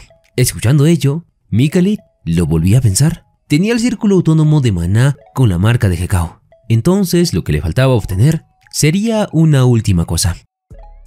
Mikalit se encontraba frente a la tumba del primer caballero. Como tal, notaba que la tumba se había restaurado. Eso significaba que todo había salido muy bien. Seth lo miraba demasiado raro. Tenía presentimiento de que Hekau había estado a su lado. Había notado que no estaba hace rato. Entonces, había una sola explicación para ello. No había podido estar al lado de Mikalit en razón de que aquella sinvergüenza le había bloqueado el paso. Estaba más que segura que le tenía odio por lo de la vez pasada. En sí, por lo de su chistecito. O mejor dicho, por haberse burlado. Aún así, Seth deseaba saber qué es lo que Mikalit había conseguido de esa malcriada. Más tarde, algo caía del cielo. Esa era una pequeña runa, con un pequeño mensaje encima. Dile a la niña que se vaya a la mi... Ah, y el regalo es para ti. Cuando analizó muy bien lo que había caído, era seguro que aquella era la túnica del santo. Pero ello no era cierto.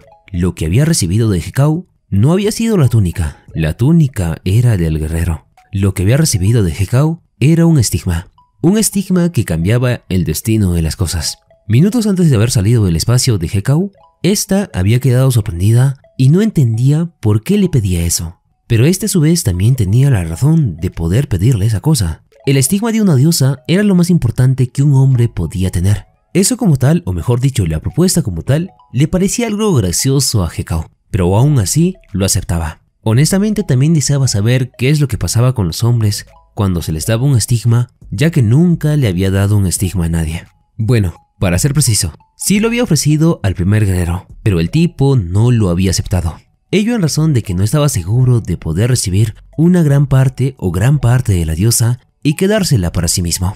Sin embargo, ella mencionaba que él podía ser diferente, porque al menos, parcialmente el chico que estaba enfrente suyo ya estaba en la etapa de un semidios. Mikalit recordaba aquella vez. Por unos cuantos segundos había llegado al décimo círculo. Por un momento había sentido el poder de un dios. Entonces la pregunta volvía a ser la misma. ¿De verdad quería un estigma? Mikalit lo confirmaba. Sí, él deseaba su estigma. Al comenzar el rito, esta le mencionaba que esta habilidad o su sangre le daría los rasgos a su cuerpo de un semidios. No podría funcionar muy bien al principio, pero con el tiempo, al volverse más fuerte, la habilidad solo continuaría y continuaría creciendo. Esta se volvería con el tiempo mucho más fuerte. El poder llegaría por sí solo. Dicho ello, ella lo sabía. Si el chico trascendía, estaba segura que podía destruir el destino que ya se había establecido. Este sería capaz de obtener lo que quería. Lo que ésta no sabía era que este último ya lo había conseguido. Hekau mencionaba que tendría un ojo sobre él, así que solo tenía un favor. Deseaba que cumpliese todo lo que había prometido. Segundos más tarde, ya fuera del templo, Mikalit lo había notado. Las runas se habían grabado. Dentro de la túnica, todo estaba en orden. Literalmente, el hechizo memorizar había sido grabado dentro de la túnica y como tal, podía ser usado de manera inmediata. Pero como el símbolo del primer guerrero parecía estar muy cerca, la magia no era ordinaria. En ese sentido, era más que seguro que la magia pertenecía al noveno rango. Seth seguía preguntándose de si había recibido un estigma de esa mujer. En su respuesta, Mikalit lo confirmaba, aunque con una cara bastante extraña, ya que la señorita mencionaba que recibir un estigma de una diosa podía desaparecer a toda la humanidad. La preocupación era obvia, Quería saber si se sentía enfermo o se sentía mareado. Mikalit la estaba esquivando, ya que mencionaba que no era necesario salir de este lugar en primer lugar. Como tal, Mikalit deseaba irse, pero recordaba que se estaba olvidando de algo importante. Así, muy a la distancia y a las lejanías del templo, alguien muy especial se encontraba mirando a Mikalit. Este era Haran. Su cuerpo había recibido mucho daño, y como tal, este ya no podía sentir la energía demoníaca que se encontraba debajo del templo. Los remanentes del rey demonio que estaban esparcidos por la capital estaban desaparecidos, y estaba más que seguro que todo estaba yéndose en contra de él. Si no solucionaba el problema, era seguro que Marril tomaría cartas en el asunto. De continuar la cosa así, el general de las tropas del rey demonio no le perdonaría la vida. Así entonces sabía que tenía que ir por algo mucho más grande. Coincidentemente, la reunión iba a ser en la misma fecha en la que los arzobispos se juntarían. Haran mencionaba que un arzobispo no era suficiente, tenía la idea de eliminar al papa. Por sobre un árbol, Mikalit mencionaba que esa cosa era muy interesante. Ese plan podía estar en su favor. Solo era cuestión de esperar un poco de tiempo más. Así entonces, Killian se preguntaba por qué tenía que sufrir de esta manera. Definitivamente Dios había elegido a Haran. Ese chico tenía las palabras del Señor, al contrario de esa chica que decía puras mentiras. Esa sinvergüenza no merecía su respeto. Entonces su conclusión era que no podía dejar el puesto de guerrero en manos de un Walpurgis, de un tipo que no parecía dar confianza. Incluso si era de manera inapropiada, lo iba a hacer. No lo permitiría. No permitiría que alguien ajeno tomase esa posición. Haran, el chico de la profecía, estaba a su lado. Como Killian deseaba saber su profecía, este se lo hacía saber. Mencionaba que sí sabía algo. Dios le había dicho que ahora mismo el Papa Gregory estaba haciendo algo malo y por ello mismo el linaje, o sea, el Walpurgis, no debía de perturbar la paz del reino. Killian ya lo había supuesto así, y entonces Haran hacía lo que éste nunca hubiese esperado. Y en menos de un segundo, el padre Killian ya estaba en sus manos y de ahora en adelante seguiría al pie de la letra lo que éste deseaba hacer. Así, había llegado el día de la cualificación. Podríamos decir, la mayoría de los arzobispos habían sido persuadidos. La mayoría que apoyaba a Siegfried ya no estaba a su favor. El padre no entendía cómo había pasado esto, pero en su respuesta Mikalit mencionaba que el otro tipo ya no tenía su ventaja. Y como tal, habían muchas explicaciones para tal suceso, pero en especial estaba más que seguro que la razón de su inactividad era porque lo había vencido de una manera muy humillante. Bueno, como tal, solo faltaban tres horas antes de que la selección del guerrero diese comienzo. En ese sentido, Mikalit le mencionaba al padre que muchas cosas estaban por pasar y por ello mismo era necesario que se preparase. Fuera del lugar, Siegfried lo estaba esperando. Lo había estado pensando durante varios días. Había pasado lo mismo con Harvey. Al final de cuentas, había aceptado su error. Lo mismo para los otros caballeros. Su posición no variaba de estos. Eso no podía continuar así. Estaba claro cuál era el problema. Al haberle mostrado el demonio frente a todos, no estaba manteniendo su posición de caballero. La razón por la que su mente estaba nublada era porque le tenía mucho aprecio al padre Killian. En ese sentido, hacía todo lo que este último quería. Nunca había dudado de su palabra. Incluso al haber pasado por su alrededor, durante muchos años aquel tipo de los caballeros sagrados había pasado muy desapercibido. Como tal, durante toda su vida, había escuchado muchas afirmaciones. Nadie le había dicho que estaba equivocado hasta que había conocido al señor Mikalit. Él había sido el único que le había puesto su paro. Lo aceptaba desde el fondo de su corazón. ¿Qué demonios se supone que debía de hacer? Siegfried había estado encerrado durante todo este tiempo. Cuando era niño se había encontrado un cuento en la basura y por ese mismo había quedado atrapado dentro de una burbuja. Ello en el sentido de que un guerrero era la cima de la aspiración a la que podía llegar un niño. Como tal, no deseaba decepcionar al arzobispo que lo había salvado y en razón de ello mismo había trabajado sin descanso. Pero tenía que admitirlo ahora. Su rival Mikalit era considerado el menos heroico por sus acciones, pero en realidad, irónicamente, él era el mejor guerrero. Así entonces Siegfried se lo pedía de favor. ¿Qué se suponía que debía hacer? En respuesta a ello, Mikalit mencionaba que esto tenía que ser desde un principio. Como tal, Siegfried estaba muy arrepentido de haber perdido toda su familia. No entendía qué es lo que le había separado tanto de esta. A los ojos de Mikalit, el tipo de enfrente solo estaba diciendo estupideces, razón por la cual no se iba a calmar, como lo deseaba hacer hace ya mucho tiempo. Mikalit le había terminado dando una paliza. Ello con la habilidad que había aprendido de su anterior amigo, el rey que se había sacrificado en la lucha contra el rey demonio. En palabras de Mikalit, el tipo de enfrente era demasiado consentido. Deseaba cambiar las cosas y estaba tan ensimismado que no había considerado en preguntarse a sí mismo en qué cosas había hecho mal. Tenía la desfachatez de venir a molestarlo. O mejor dicho, en sus palabras, solo los bastardos que siempre lastiman a los otros hacían lo que hacía este tipo de enfrente. Este nunca había considerado la opción de disculparse con los que había lastimado. Este solo quería cubrir sus estupideces. Con una sonrisa diabólica de por medio, Mikalit le iba a enseñar que muchas cosas tenían que cambiar. No importaba si su cuerpo sufría. Un pequeño dolor no importaba. Así entonces los arzobispos se encontraban dentro de la catedral principal. Muchos de ellos deseaban saber quién sería el siguiente guerrero, ya que los que anteriormente estaban de neutrales ahora ya tenían a alguien elegido. La mayoría deseaba apoyar al mago. Muchos otros mencionaban que el mago parecía ser demasiado decepcionante para la imagen de un guerrero, o mejor dicho, en otras palabras, el tipo era una vergüenza. Ello en razón de que el primer guerrero había sido alguien que tenía solo fuerza física. En ese sentido, enfrente había aparecido un arzobispo principal. Era difícil verlo salir de la catedral, pero como tal, este último mencionaba algo especial. En su posición, estaba aquí para apoyar al candidato Mikalit. Aún así, muchos estaban sorprendidos. Nunca hubiesen esperado esa declaración. Muchos minutos más tarde, el arzobispo Killian había hecho su aparición. Por pura formalidad, ambos se habían saludado. El padre principal deseaba saber qué es lo que deseaba hacer este tipo. La pregunta de ese último era bastante directa. Mencionaba que si de verdad estaba de acuerdo con que un mago fuese un guerrero. El papa principal mencionaba que sí. Al haber escuchado ello, Killian había desaparecido de enfrente de la mirada atónita del padre. A ver, a ver, a ver, a ver. Me estás diciendo que llevas más de 10 minutos viendo este video y no estás suscrito al canal? Más del 80% de personas que ven mis videos no están suscritas. Si tan solo el 50% estuviese suscrito, ya seríamos más de 300.000 personas. Matemáticas, hijo. Dale, hombre, solo son dos clics y no sabes lo mucho que nos apoyas para seguir con este proyecto.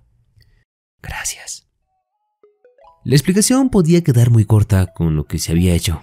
El hijo de Mil, de Siegfried, había recibido una gran ronda de golpes.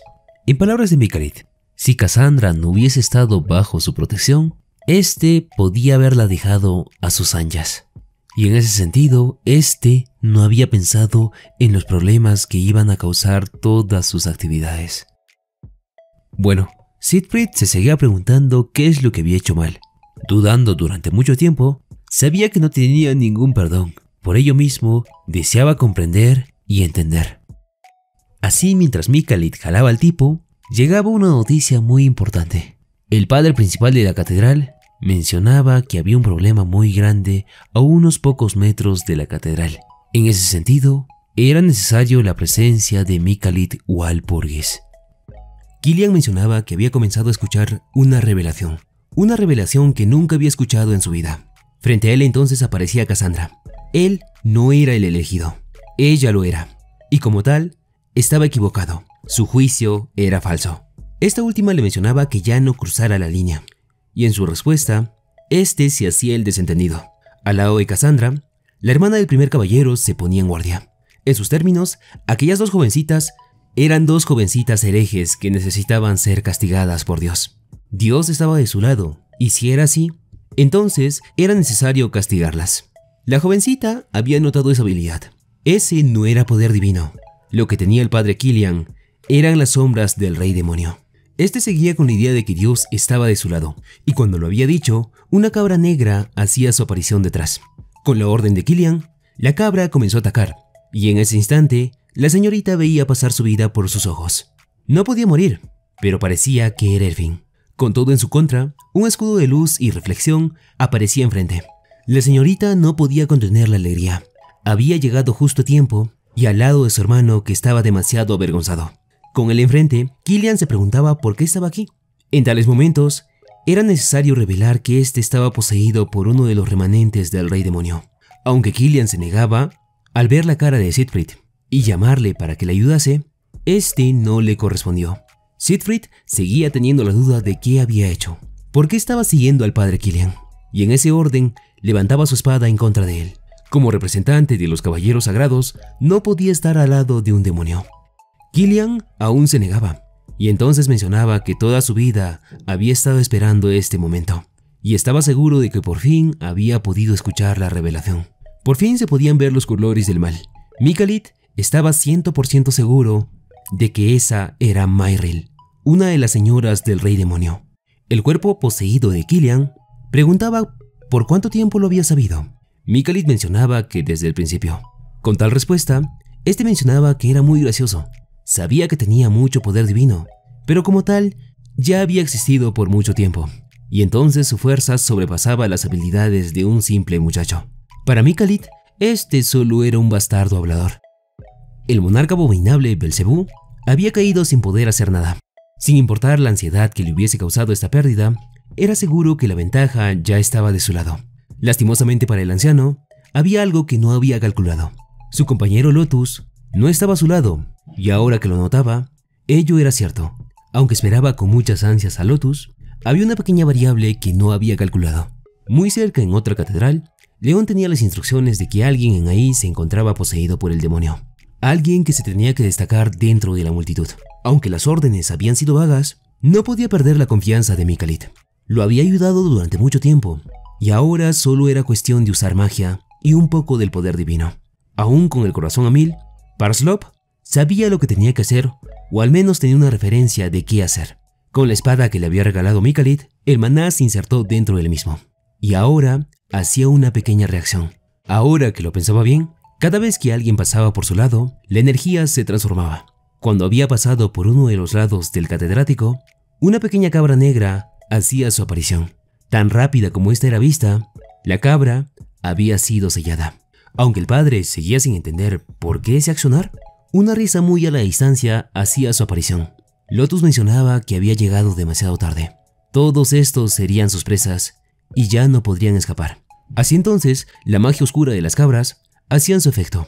El aliento y los gritos de los padres no se hacían esperar. León no sabía qué hacer, ya que las personas estaban cambiando. Con la mente un tanto nublada, una voz hacía su aparición a lo lejos. Esta decía, despierta León, no te dejes controlar por el demonio. Con aquella luz tan hermosa, todos los padres habían sido salvados de las garras de la cabra. Al instante, todos habían notado que no estaban desamparados. Enfrente de León, una de las luces más hermosas que había existido en este mundo, mencionaba que por mucho tiempo la oscuridad había cubierto los ojos y los oídos de todos. Sin embargo, uno de los hombres que había recibido su talento había venido a cortar esa oscuridad. León tenía que levantarse. Aunque no controlaba su cuerpo, sabía que las palabras de Mikalit se estaban cumpliendo. No era necesario saber qué hacer, sino más bien solo seguir la orientación que se le estaba dando. La sabia del templo, Hekau, había tomado su cuerpo y le estaba guiando para un mejor futuro. León tenía muchas cosas que no entendía, pero estaba seguro de que funcionaría. Así entonces, con las palabras de Mikalit en la mente, sabía lo que tenía que hacer. El momento de imbuirle maná a la espada había llegado. Era momento de terminar con el enemigo. En el comienzo de todo, solo había una luz y oscuridad. La oscuridad solo existía, pero la luz se movía y se expandió. En esa expansión se habían creado las leyes, y las leyes crearon el cielo y la tierra. Así habían aparecido los primeros brotes en la tierra. La luz siempre había estado acompañado por la ley. La humanidad la había llamado la luz o gracia de Dios, que al final había sido nombrado como poder divino. León tenía la concentración de un caballero de rango alto. La energía fluía por todo su cuerpo, y sabía que tenía que hacerlo a este ritmo. Las cabras podían escapar, y si era así, podían terminar con todos los presentes. Por ello, los primeros remanentes comenzaban su ataque. Tan rápido como ello era hecho, una energía en medio de la catedral era liberada. A la distancia, el padre Killian se preguntaba qué estaba pasando. ¿Cómo de un momento para otro había tanta energía? En su respuesta, Mikalit mencionaba que todo había sido por él. Desde el momento en el que habían descubierto que los demonios se encontraban en las catedrales, la fe de los padres había estado en aumento, y estaba más que seguro que esa fe no dejaría de crecer. Viéndose acorralado, el padre Gillian comenzaba su ataque. Este sinvergüenza pagaría el haberles malogrado su plan. La magia oscura estaba siendo canalizada. Lastimosamente para él, el enemigo estaba muy bien defendido. La señorita Seth estaba haciendo su trabajo de defensa por medio del amuleto de Mikalet. Aún así, este mencionaba que no era necesario hacer eso. Ello en razón de que actualmente era un villano para todos estos demonios, y como tal, era necesario seguir impartiendo ese miedo una y otra vez hasta terminar con todos y cada uno de estos. Eso parecía ser una locura en palabras de Seth, pero al final la señorita lo aceptaba. Esa era una buena forma y un gran comienzo para un gran mago. Con la energía oscura yendo en aumento, Gillian usaba parte de sus mejores habilidades. Lastimosamente, ni aún así podía pasar a aquel escudo divino. La pregunta de Mikalit era por qué no intentaba escapar, si al final de cuentas ya estaba perdido. Killian estaba renegando. La sangre le hervía.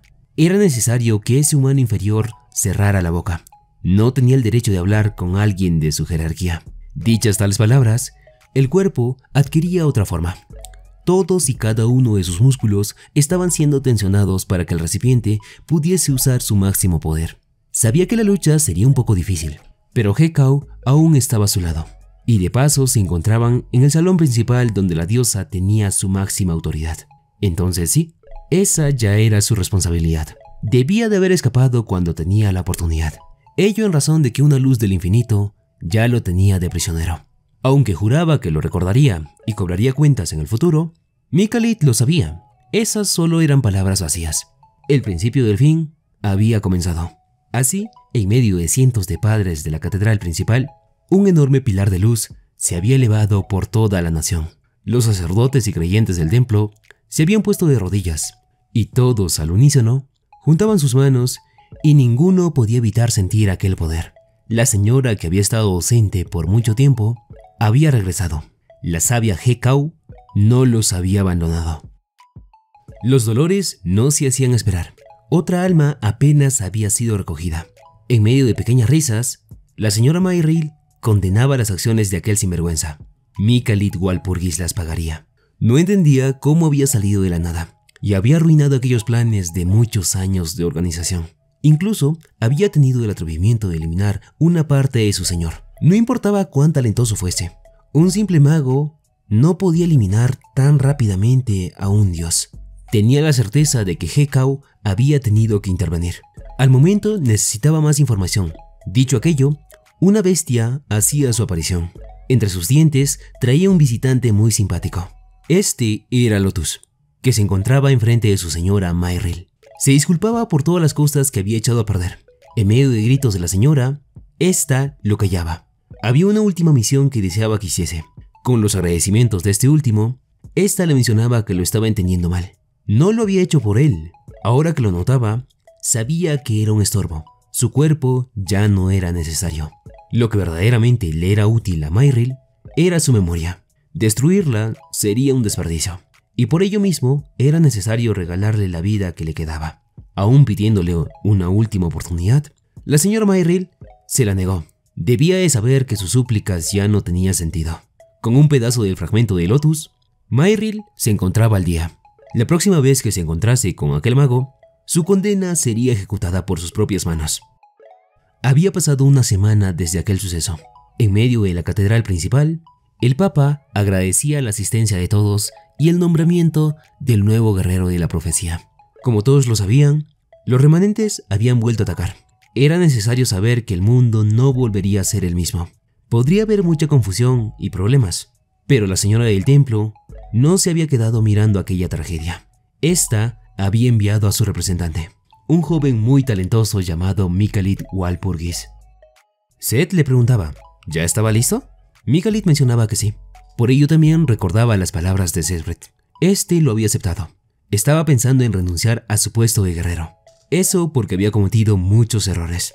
Aunque muchas de las palabras de Siegfried no se llegaban a comprender muy bien, Mikalit le decía de frente que no entendía cómo un idiota como él podía estar hablando de convicción. Una convicción que desde hace ya mucho tiempo estaba rota. A Siegfried solo su orgullo le quedaba, y toda la información que Mikalit le estaba dando era demasiada para ser asimilada en un periodo de tiempo tan corto. Mikalit aún lo tenía en mente. Tal vez estaba siendo guiado por los recuerdos de la pre-regresión. Actualmente, aunque fuese poco, parecía que ahora, sí, este tipo estaba cambiando. Siegfried lo aceptaba todo. Lo que decía era correcto. Era un idiota.